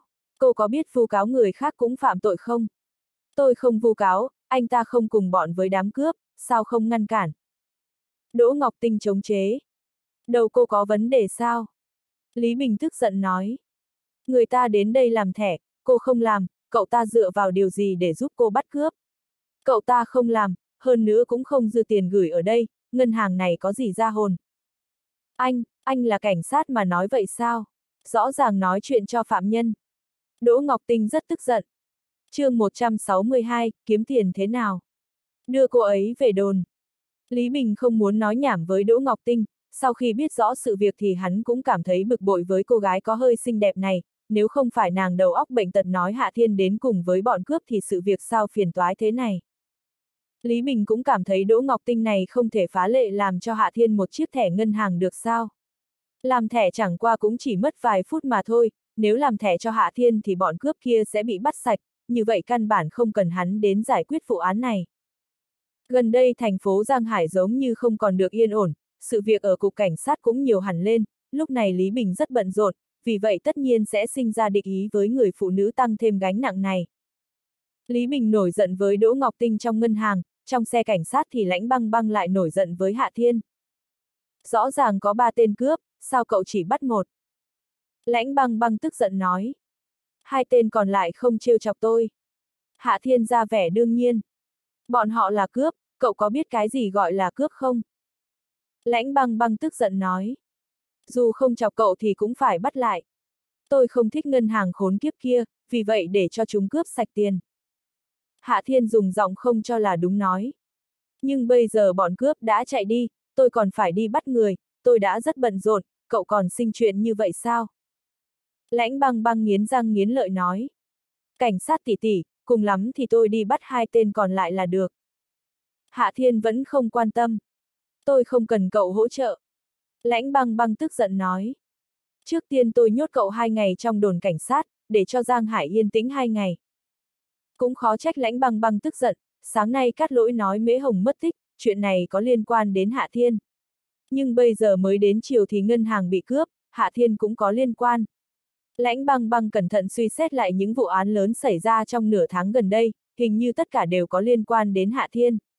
Người này rõ ràng là một bao thuốc nổ, đi đến đâu cũng có thể phát nổ, chính hắn không việc gì nhưng người khác lại ngã ngựa. Cảnh sát tỷ tỷ, chỉ có thể nhốt tôi trong phòng làm việc được không, chỉ cần có chị ở bên trong thì tôi sẽ ở được hai ngày. Hạ Thiên cười hì hì nói. Tôn Hình Hình thấy Hạ Thiên đùa giỡn lãnh băng băng thì nhìn không được phải vung tay cấu lên đùi hắn, tiểu sắc lang này đúng là, vừa rồi còn nói buổi tối sẽ hoạt động 9 lần, sao bây giờ lại đổi ý rồi. Két! Xe cảnh sát chợt dừng lại, lãnh băng băng quát lên với Hạ Thiên. Cậu xuống xe cho tôi. Hạ Thiên chợt sững sờ. Cảnh sát tỷ tỷ, chị không đưa tôi đi cục cảnh sát sao? Cậu không xuống xe sao? Không xuống tôi sẽ giam 15 ngày. Lãnh băng băng quát lên phẫn nộ. Cảnh sát tỷ tỷ, tuy tôi muốn về cục cảnh sát với chị nhưng 15 ngày quá dài, tôi còn muốn ở cùng chị Hinh. Hạ Thiên nghiêm trang suy nghĩ một lúc lâu, sau đó hắn mở cửa xe. Giờ tôi phải xuống xe, đợi đến khi tôi có thời gian rãnh thì sẽ đến cục cảnh sát ở 15 ngày. Hạ Thiên kéo Tôn Hinh Hinh xuống xe, sau đó hắn còn phất phất tay với lãnh băng băng. Cảnh sát tỷ tỷ, phải nhớ đến tôi đấy nhé. Mong sao cậu chết đi cho rồi. Lãnh băng băng nghiến răng nghiến lợi thầm mắng một câu, sau đó nàng nhấn chân ga, xe cảnh sát phóng đi như tên bắn. Nàng vốn nghĩ sẽ kéo Hạ Thiên về đồn hỏi một phen nhưng cuối cùng cũng không nhịn được mà đẩy xuống đường. Này, chị Hinh, bên kia có một ngân hàng, chúng ta qua đó làm thẻ.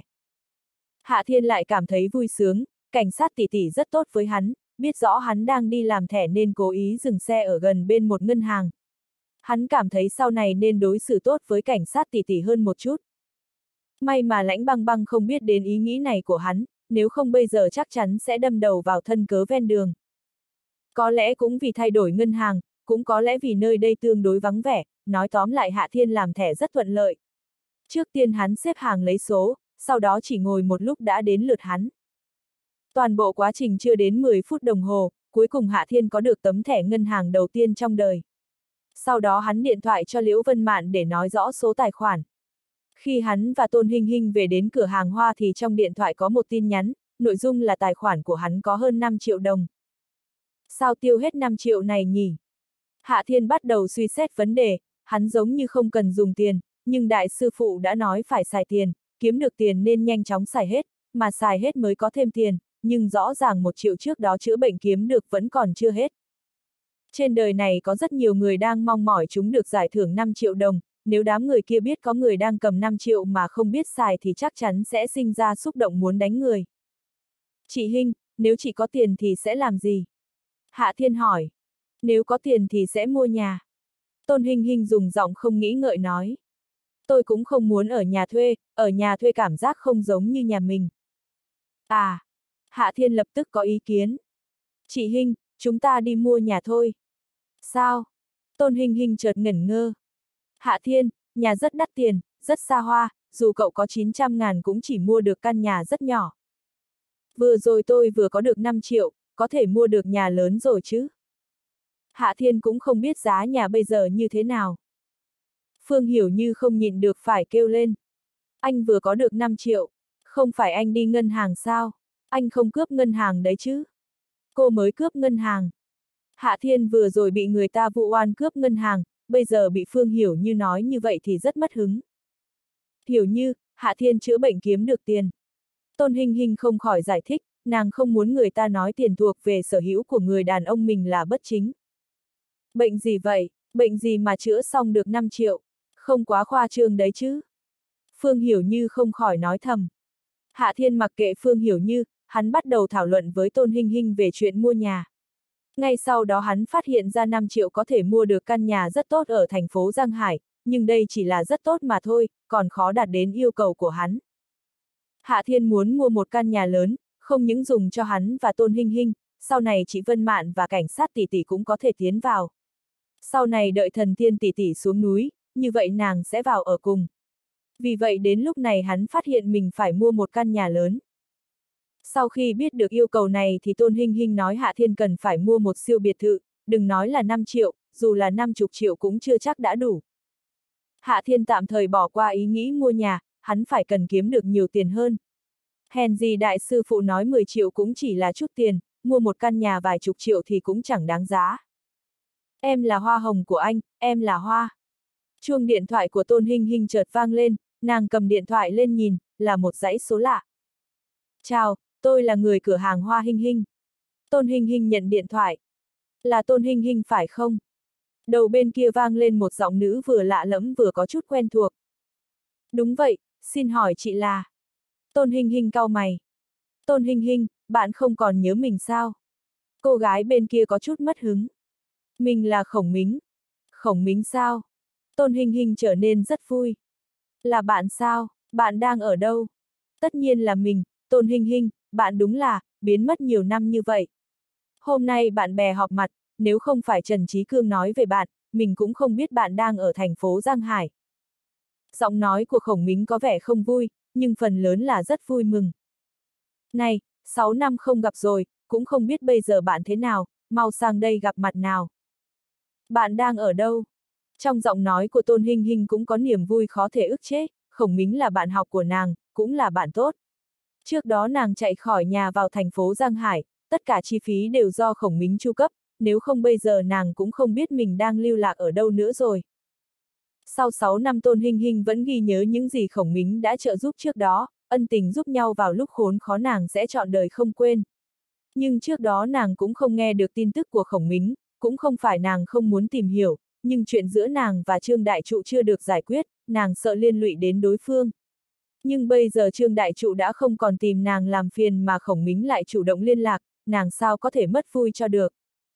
Chúng tôi đang ở bên ngoài, lát nữa sẽ đi dùng cơm, có mười mấy người đi cùng nhau, vị trí đã được đặt sẵn, là nhà hàng thủy tạ, ăn xong sẽ đi hát. Bạn đến trước đi, khi bạn đến thì chúng tôi cũng sẽ đến. Khổng Mính nhanh chóng nói, cuối cùng còn bổ sung một câu. Bạn nhất định phải đến, nếu không sẽ cắt đứt tình bạn. Mình sẽ đến. Tôn Hình Hình cúp điện thoại, sau đó nàng kéo Hạ Thiên ra ngoài. Hạ Thiên, đi theo chị gặp mặt vài người bạn. Thủy tạ tuy không phải nhà hàng gì cao sang nhưng rất đặc sắc, chủ yếu là các món cá, ngoài cá còn có đủ loại ốc. Khi Tôn hình hình và Hạ Thiên đến nhà hàng thì đám bạn học của nàng còn chưa đến. Sau khi dừng xe ổn định thì Tôn Hinh Hinh và Hạ Thiên đứng chờ trước cổng, 5 phút sau Hạ Thiên thấy một nhóm người đi đến, có nam có nữ, mà trong đó có hai người hắn đã từng gặp, đó là Trần Trí Cương và cô gái tên Giai Giai. Khổng Mính. Tôn Hinh Hinh dùng sức vẫy tay, sau đó một cô gái xinh xắn và khá nhỏ nhắn chạy ra khỏi đám người. Cô gái này không cao, chưa được 1m6, tướng mạo thanh tú làm người ta sinh ra cảm giác hoạt bát đáng yêu. Bạn, bạn, bạn thật sự là Tôn Hinh Hinh sao? Cô gái chạy đến trước mặt Tôn Hinh Hinh, bộ dạng rất khoa trương. Bạn thay đổi quá nhiều, nếu không phải gọi mình thì còn tưởng nhìn thấy ngôi sao lớn nào đó. Khổng Mính, bạn vẫn như xưa, không có nhiều thay đổi. Tôn Hinh Hinh ôm lấy cô gái, Khổng Mính quả thật không thay đổi nhiều, chỉ cao hơn một chút, dù 6 năm không gặp nhưng Tôn Hinh Hinh chỉ cần liếc mắt đã nhận ra. chương 163, Người giàu tặng hoa. Tôn Hinh Hinh, lời này của bạn có thể gây tổn hại đấy nhé, sao có thể nói mình không thay đổi. Người khác còn tưởng mình không lớn. Khổng Mính nói với vẻ mặt cầu xin. Bây giờ mình đã hối hận, đúng ra không nên tìm bạn, bây giờ gặp lại nhau thì áp lực quá lớn. Lam Trạch luôn chê dáng người của mình không tốt, bây giờ gặp lại cậu thì lại càng khẳng định. Khổng Mính phất phất tay về phía sau. Lam Trạch, bạn đến đây, giới thiệu cho bạn một người đẹp.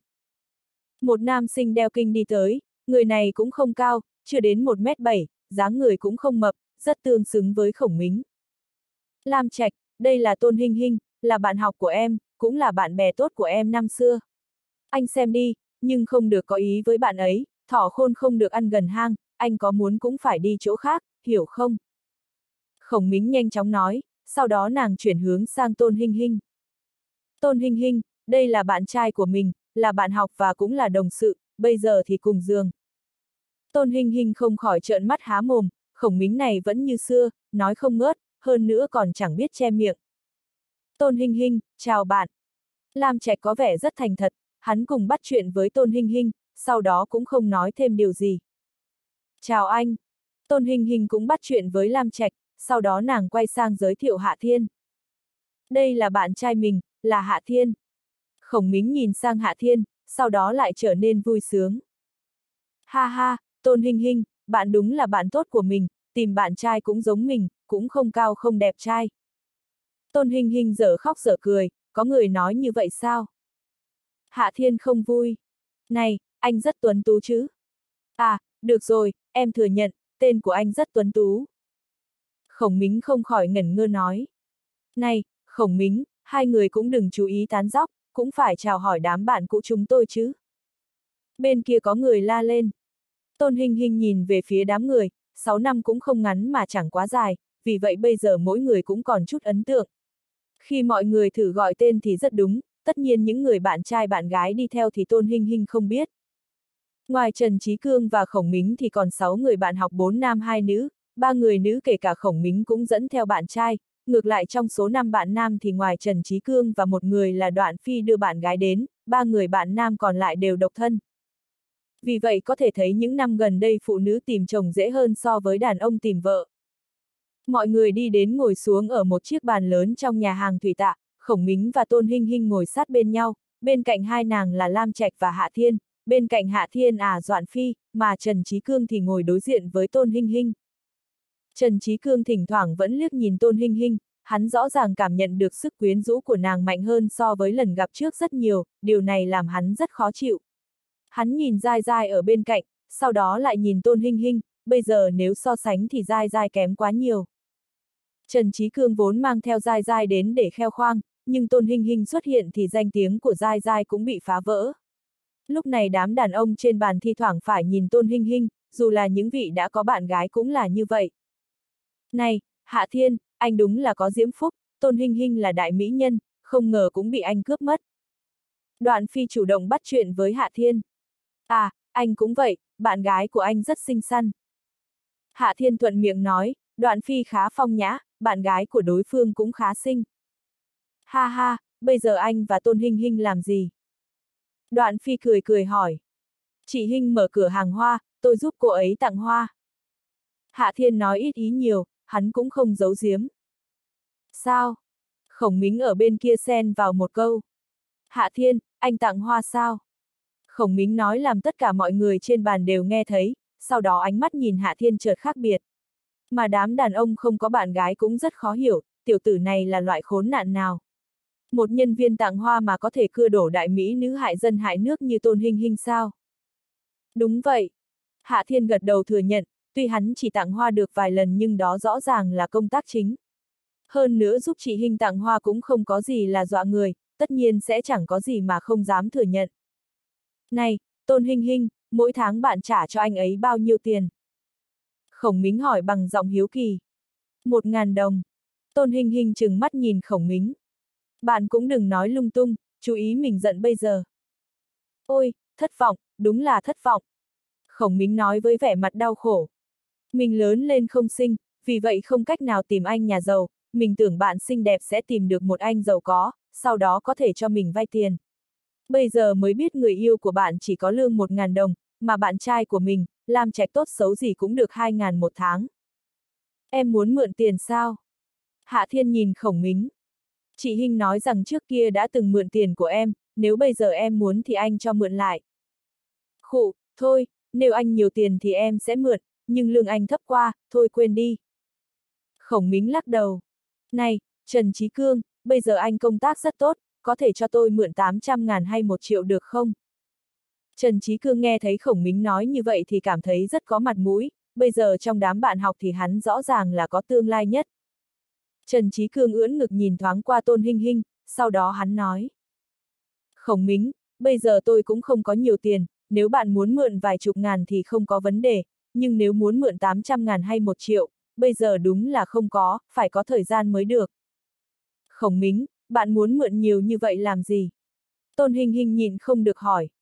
Cũng không có gì, chúng mình thấy làm công không có ý nghĩa, với tiền lương của mình và Lam Trạch thì không biết đến bao giờ mới mua được nhà, vì vậy mà chúng mình định lập công ty.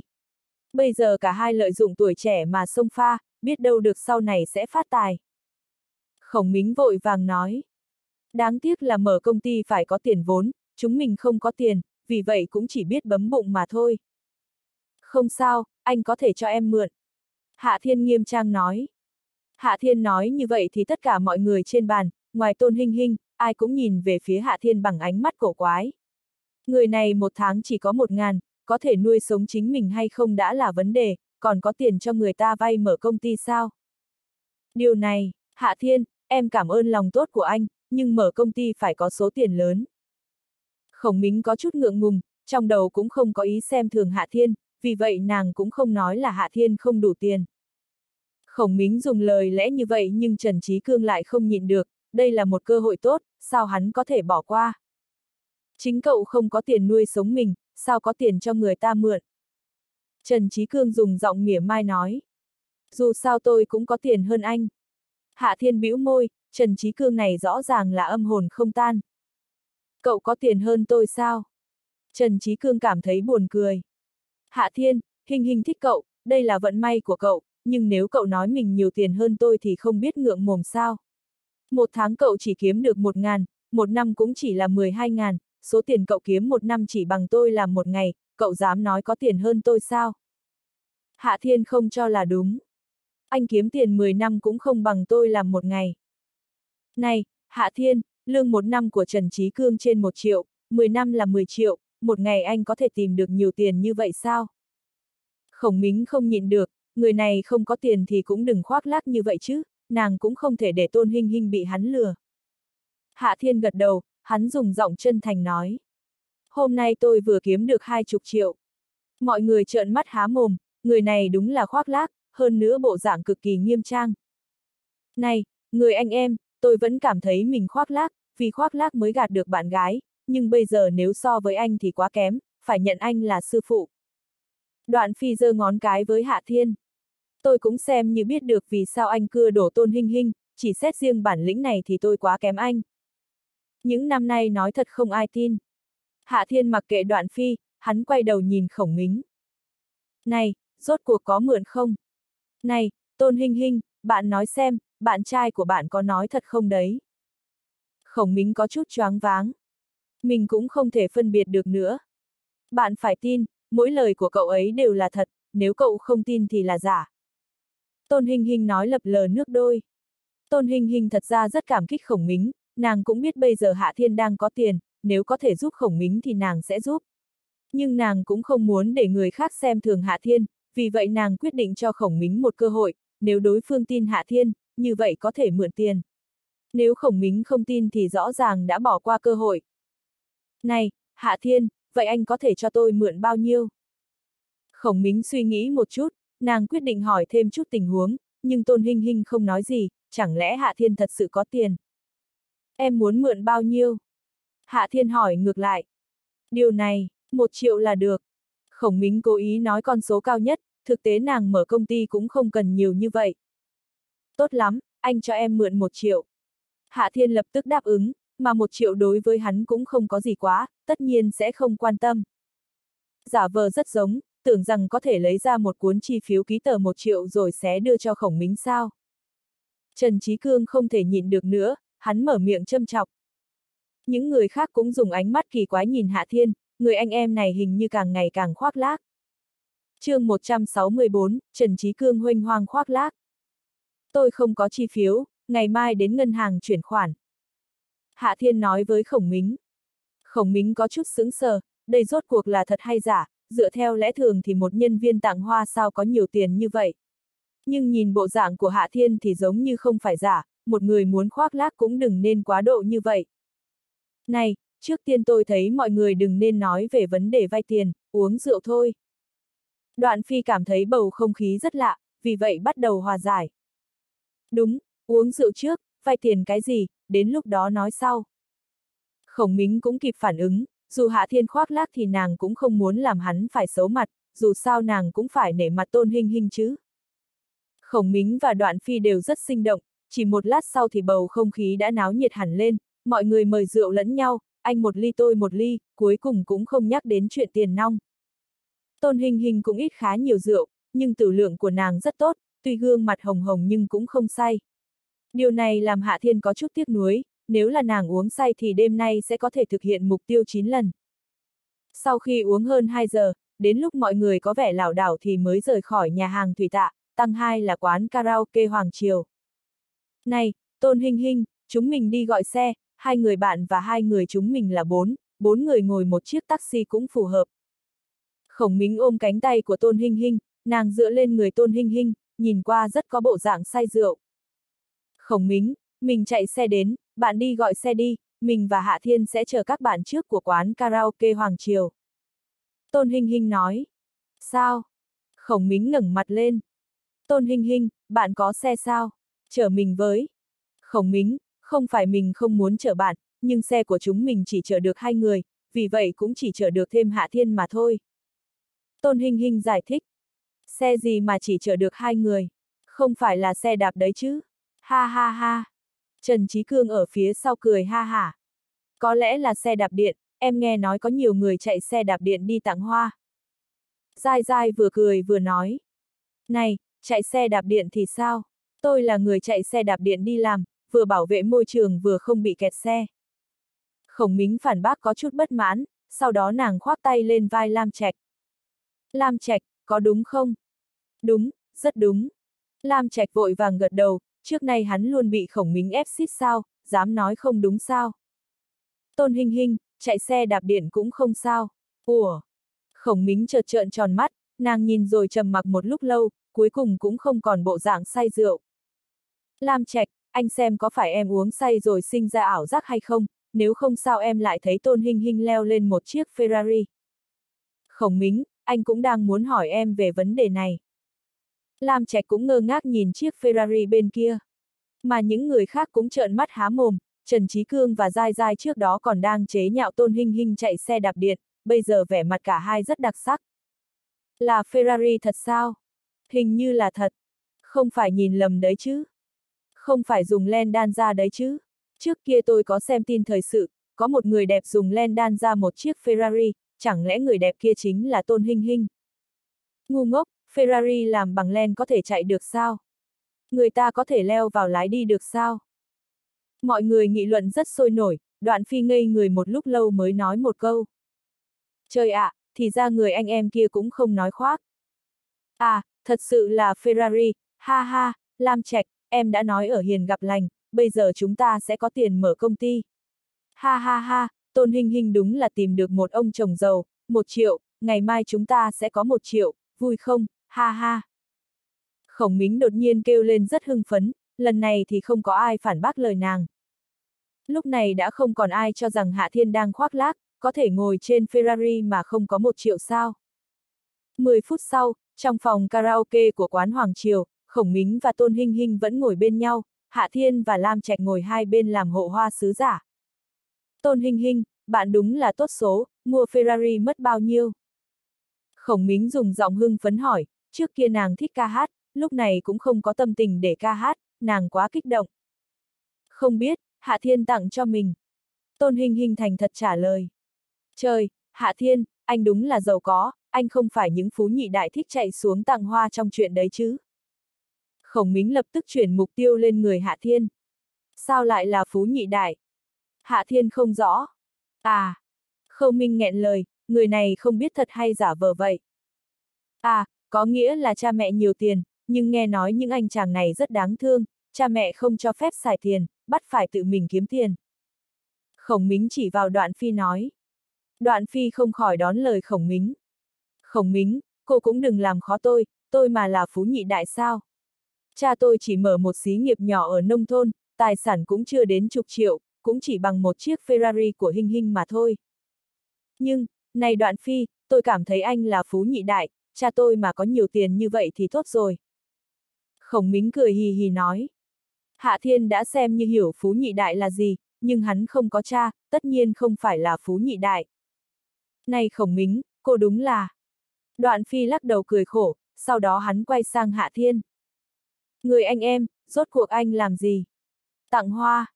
Hạ Thiên trả lời.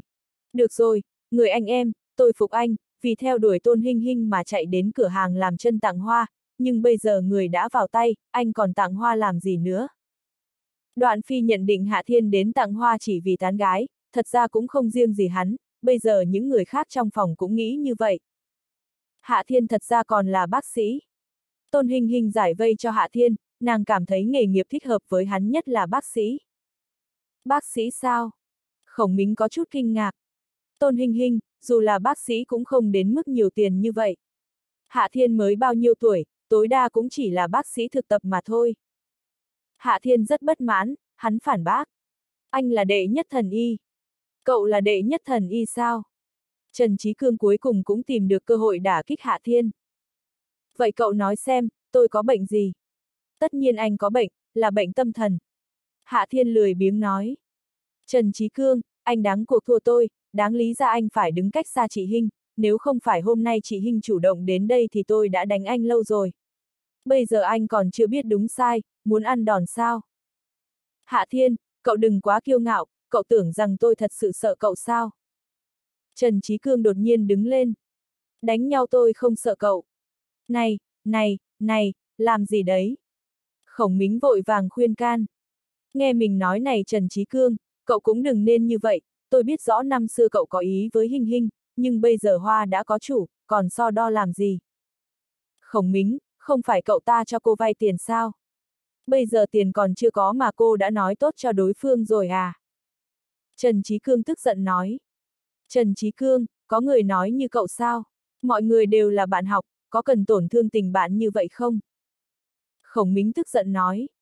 Cô và tôi là bạn học, nhưng tôi không phải là bạn học với Hạ Thiên. Trần Trí Cương cười lạnh một tiếng. Nếu cô thật sự coi tôi là bạn học thì đừng giúp hắn. Trần Trí Cương quay đầu nhìn Hạ Thiên rồi tiếp tục. Hạ Thiên, tôi đã không vừa mắt cậu từ lâu, cậu có vài đồng tiền dơ bẩn thì ngon sao? Lần trước đi với con khác sau lưng Hình Hình chuyện đó tôi còn chưa nói, cậu cảm thấy mình rất lợi hại sao? Chúng ta sâu lâu. Trần Trí Cương, đủ rồi. Tôn Hình Hình cuối cùng cũng nổi giận. Nếu anh còn tiếp tục náo loạn, tôi và anh sẽ không còn là bạn bè. Hinh Hinh, anh chỉ muốn tốt cho em thôi. Trần Trí Cương dùng giọng có chút tức giận nói. Trần Trí Cương, trên đời này ai tốt với tôi thì trong lòng tôi biết, không cần anh phải nói ra. Còn nữa, tôi khuyên anh, anh nên lo lắng cho bạn gái của mình là hơn. Giọng nói của Tôn Hinh Hinh có chút lạnh nhạt, trước kia nàng có ấn tượng tốt với Trần Trí Cương, nhưng bây giờ tất ả đã không còn. Đúng vậy, Trần Trí Cương, bạn gái của cậu còn ở bên cạnh kia. Khổng Mính cũng nói, này, mọi người đến để hát chứ không phải cãi nhau, hát thôi.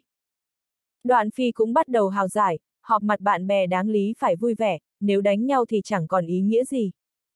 Đáng tiếc Trần Trí Cương là loại đầu óc ngu si tứ chi phát triển, lúc này hắn không thèm nghe ai khuyên can, hắn nhìn chằm chằm vào Hạ Thiên rồi gằn lên từng chữ.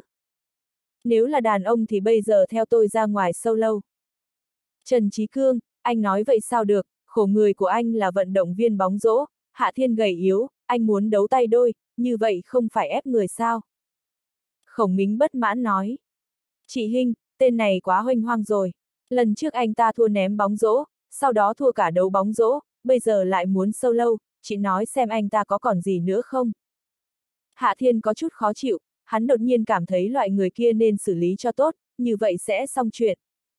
Này, có chuyện này sao? Khổng Mính chợt ngẩn ngơ, thì ra hai người kia đã đấu với nhau rồi. Trần Trí Cương, cậu thật sự đã so tài bóng rổ với Hạ Thiên, hơn nữa còn thua cuộc sao? Đoạn Phi cũng không nhịn được phải hỏi, Trần Trí Cương là cầu thủ chuyên nghiệp nhưng lại thua Hạ Thiên, đây rõ ràng quá sức tưởng tượng. Nếu là nửa giờ trước thì đoạn phi sẽ nghĩ là Hạ Thiên khoác lác, nhưng bây giờ hắn không dám khẳng định. Vẻ mặt Trần Trí Cương chợt biến đổi, sau đó hắn thẹn quá hóa giận giống lên với Hạ Thiên. Họ hạ kia, con bà nó, mày rốt cuộc có muốn đấu tay đôi không? chương 165, hacker siêu cấp. Anh đúng là phiền phức. Hàn thấm đứng lên. Hạ Thiên, ra tay nhẹ thôi. Tôn Hình Hình vội vàng nói. Ra tay nhẹ thôi sao? Mọi người nghe được lời này của Tôn Hình Hình thì cảm thấy quỷ dị, chẳng lẽ Tôn Hình Hình cảm thấy Hạ Thiên lợi hại hơn Trần Trí Cương? Nhưng sự thật đã được chứng minh ngay lập tức, Tôn Hinh Hinh nói ra những lời vừa rồi đúng là có nguyên nhân. Chỉ thấy Hạ Thiên vội vàng đi đến trước mặt Trần Trí Cương, sau đó hắn dùng một tay chụp cổ Trần Trí Cương, cũng không thấy dùng sức mà Trần Trí Cương với thân thể cao lớn bị ném ra ngoài. Cửa phòng không khóa, Trần Trí Cương trực tiếp phóng ra ngoài phòng rồi đập xuống đất phát ra một tiếng động nặng nề. Mọi người trợn mắt há mồm, Hạ Thiên nhìn có vẻ nhỏ con, nhưng dù sao cũng khó tưởng hắn có thể ném Trần Trí Cương ra ngoài như vậy được.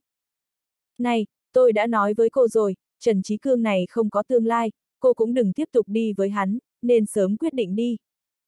Hạ Thiên ném Trần Trí Cương ra ngoài rồi quay sang nói với Giai Giai. Anh đẹp trai, em đến với anh thì thế nào? Giai Giai nở nụ cười nịnh nọt. Có tin tôi ném cô ra không? Hạ Thiên rất mất hứng, hắn không biết thưởng thức như vậy sao? Tôi, tôi sẽ đi. Giai Giai thấy tình huống không đúng thì vội vàng chạy ra ngoài. Trần Trí Cương, anh đừng để tôi gặp lại lần nữa, nếu không gặp mặt sẽ bị đòn. Hạ Thiên đi đến cửa nói một câu, sau đó hắn đóng cửa phòng lại rồi thản nhiên đến ngồi xuống bên cạnh Tôn Hinh Hinh, cuối cùng lại cảm khái. Cuối cùng cũng đuổi ruồi bỏ đi. Này, Tôn Hinh Hinh, sao bạn tìm được một người đàn ông cực phẩm như vậy?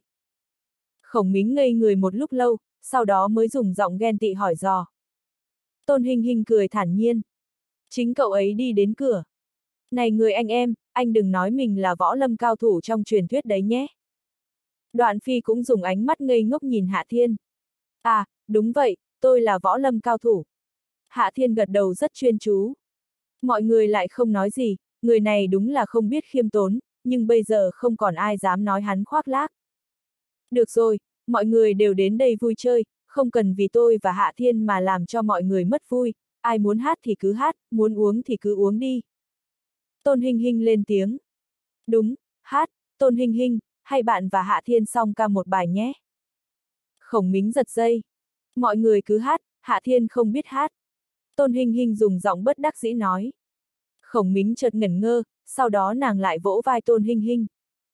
Chị em tốt, đúng là chị em tốt, làm trẻ kia cũng không hát hò gì. Thôi thì tôi hát, dù sao tôi cũng là ca lẻ.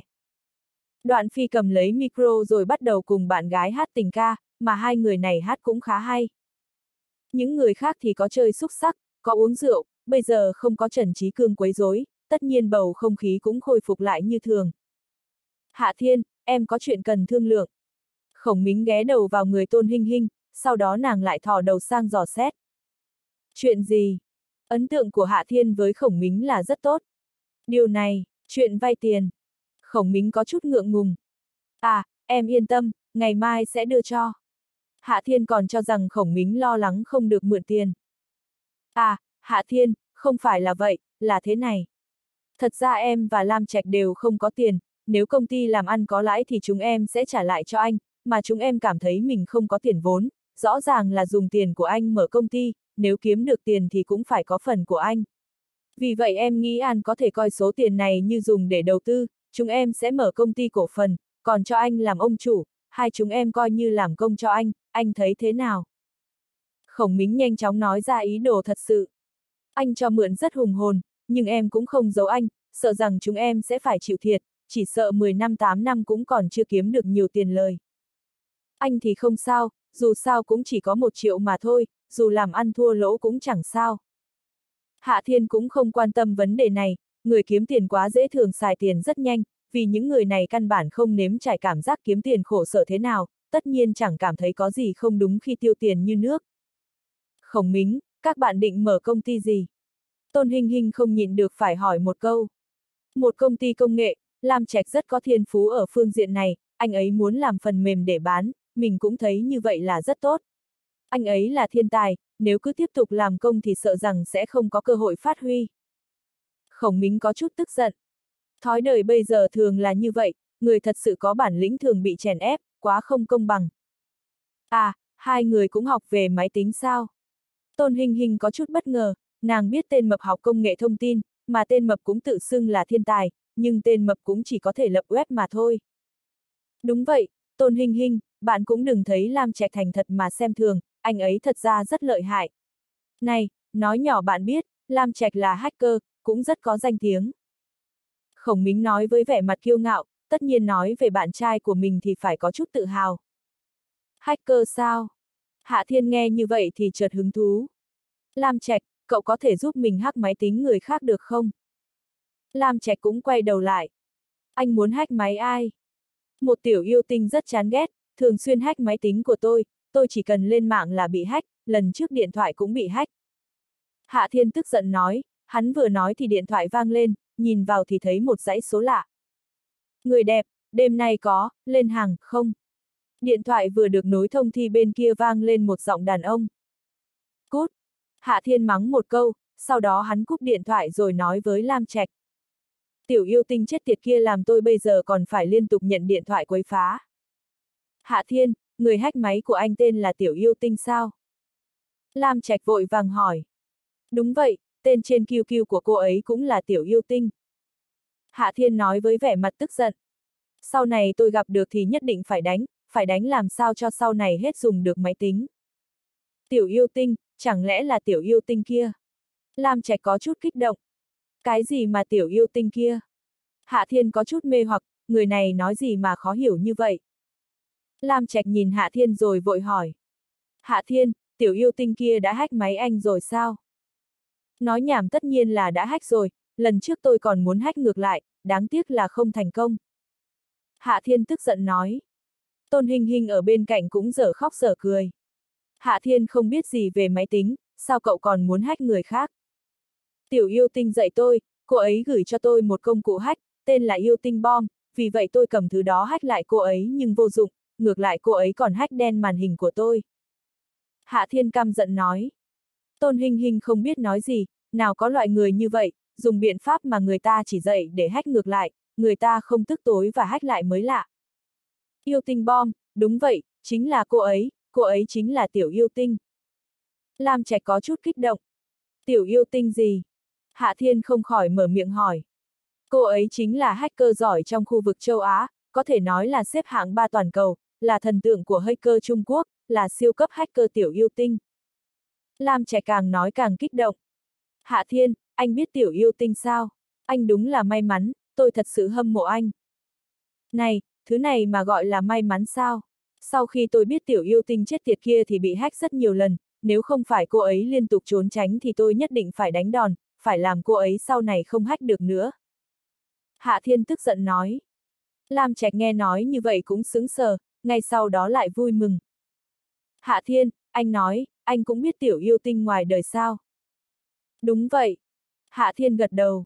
Này, không nói nhảm nữa, tôi hỏi anh, anh có thể hack máy tính của cô ấy không?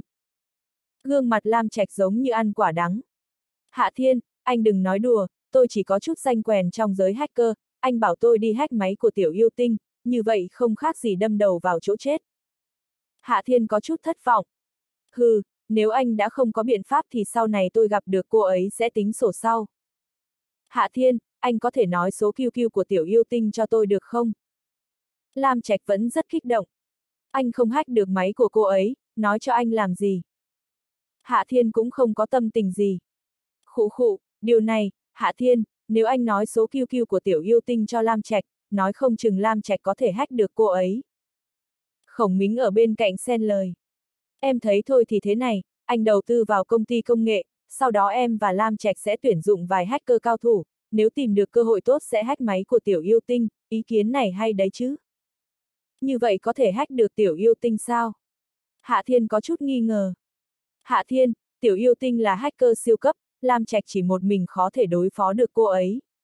Nhưng người ta hay nói ba cây trụm lại nên hòn núi cao, Lam Trạch làm một mình không được, nhưng nếu anh ấy liên hợp với những người khác, 10 hay 100 hacker cùng tấn công tiểu yêu tinh, như vậy có thể thắng, anh thấy có đúng không?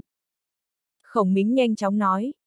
Hạ Thiên suy nghĩ, hắn cảm thấy khá đúng, vì vậy gật đầu. Được rồi, tôi đầu tư cho công ty công nghệ của hai người, chỉ cần có thể hack được tiểu yêu tinh, tiền không là vấn đề. Hạ Thiên không quan tâm đến tiền, bây giờ hắn rất bức bối, tiểu yêu tinh chết tiệt kia cứ ức hiếp hắn, điều này làm hắn khó thể nhịn. À, vậy thì coi như quyết định, sau này anh là ông chủ của tôi, hì hì. Khổng Mính rất vui, sau đó nàng quay sang nói với Tôn Hinh Hinh. Bà chủ, sau này đừng ngược đãi nhân viên như tôi đấy nhé. Tôn Hinh Hinh có chút sở khóc sở cười, Hạ Thiên đầu tư một công ty chỉ vì báo thù một hacker sao. Đây đúng là trò đùa. Nhưng nghĩ lại cũng thấy Hạ Thiên đùa mà Khổng Mính và Lam Trạch lại thật tình muốn lập công ty, nếu như vậy thì cũng chẳng sao. Audio điện tử võ tấn bền. Hết chương 165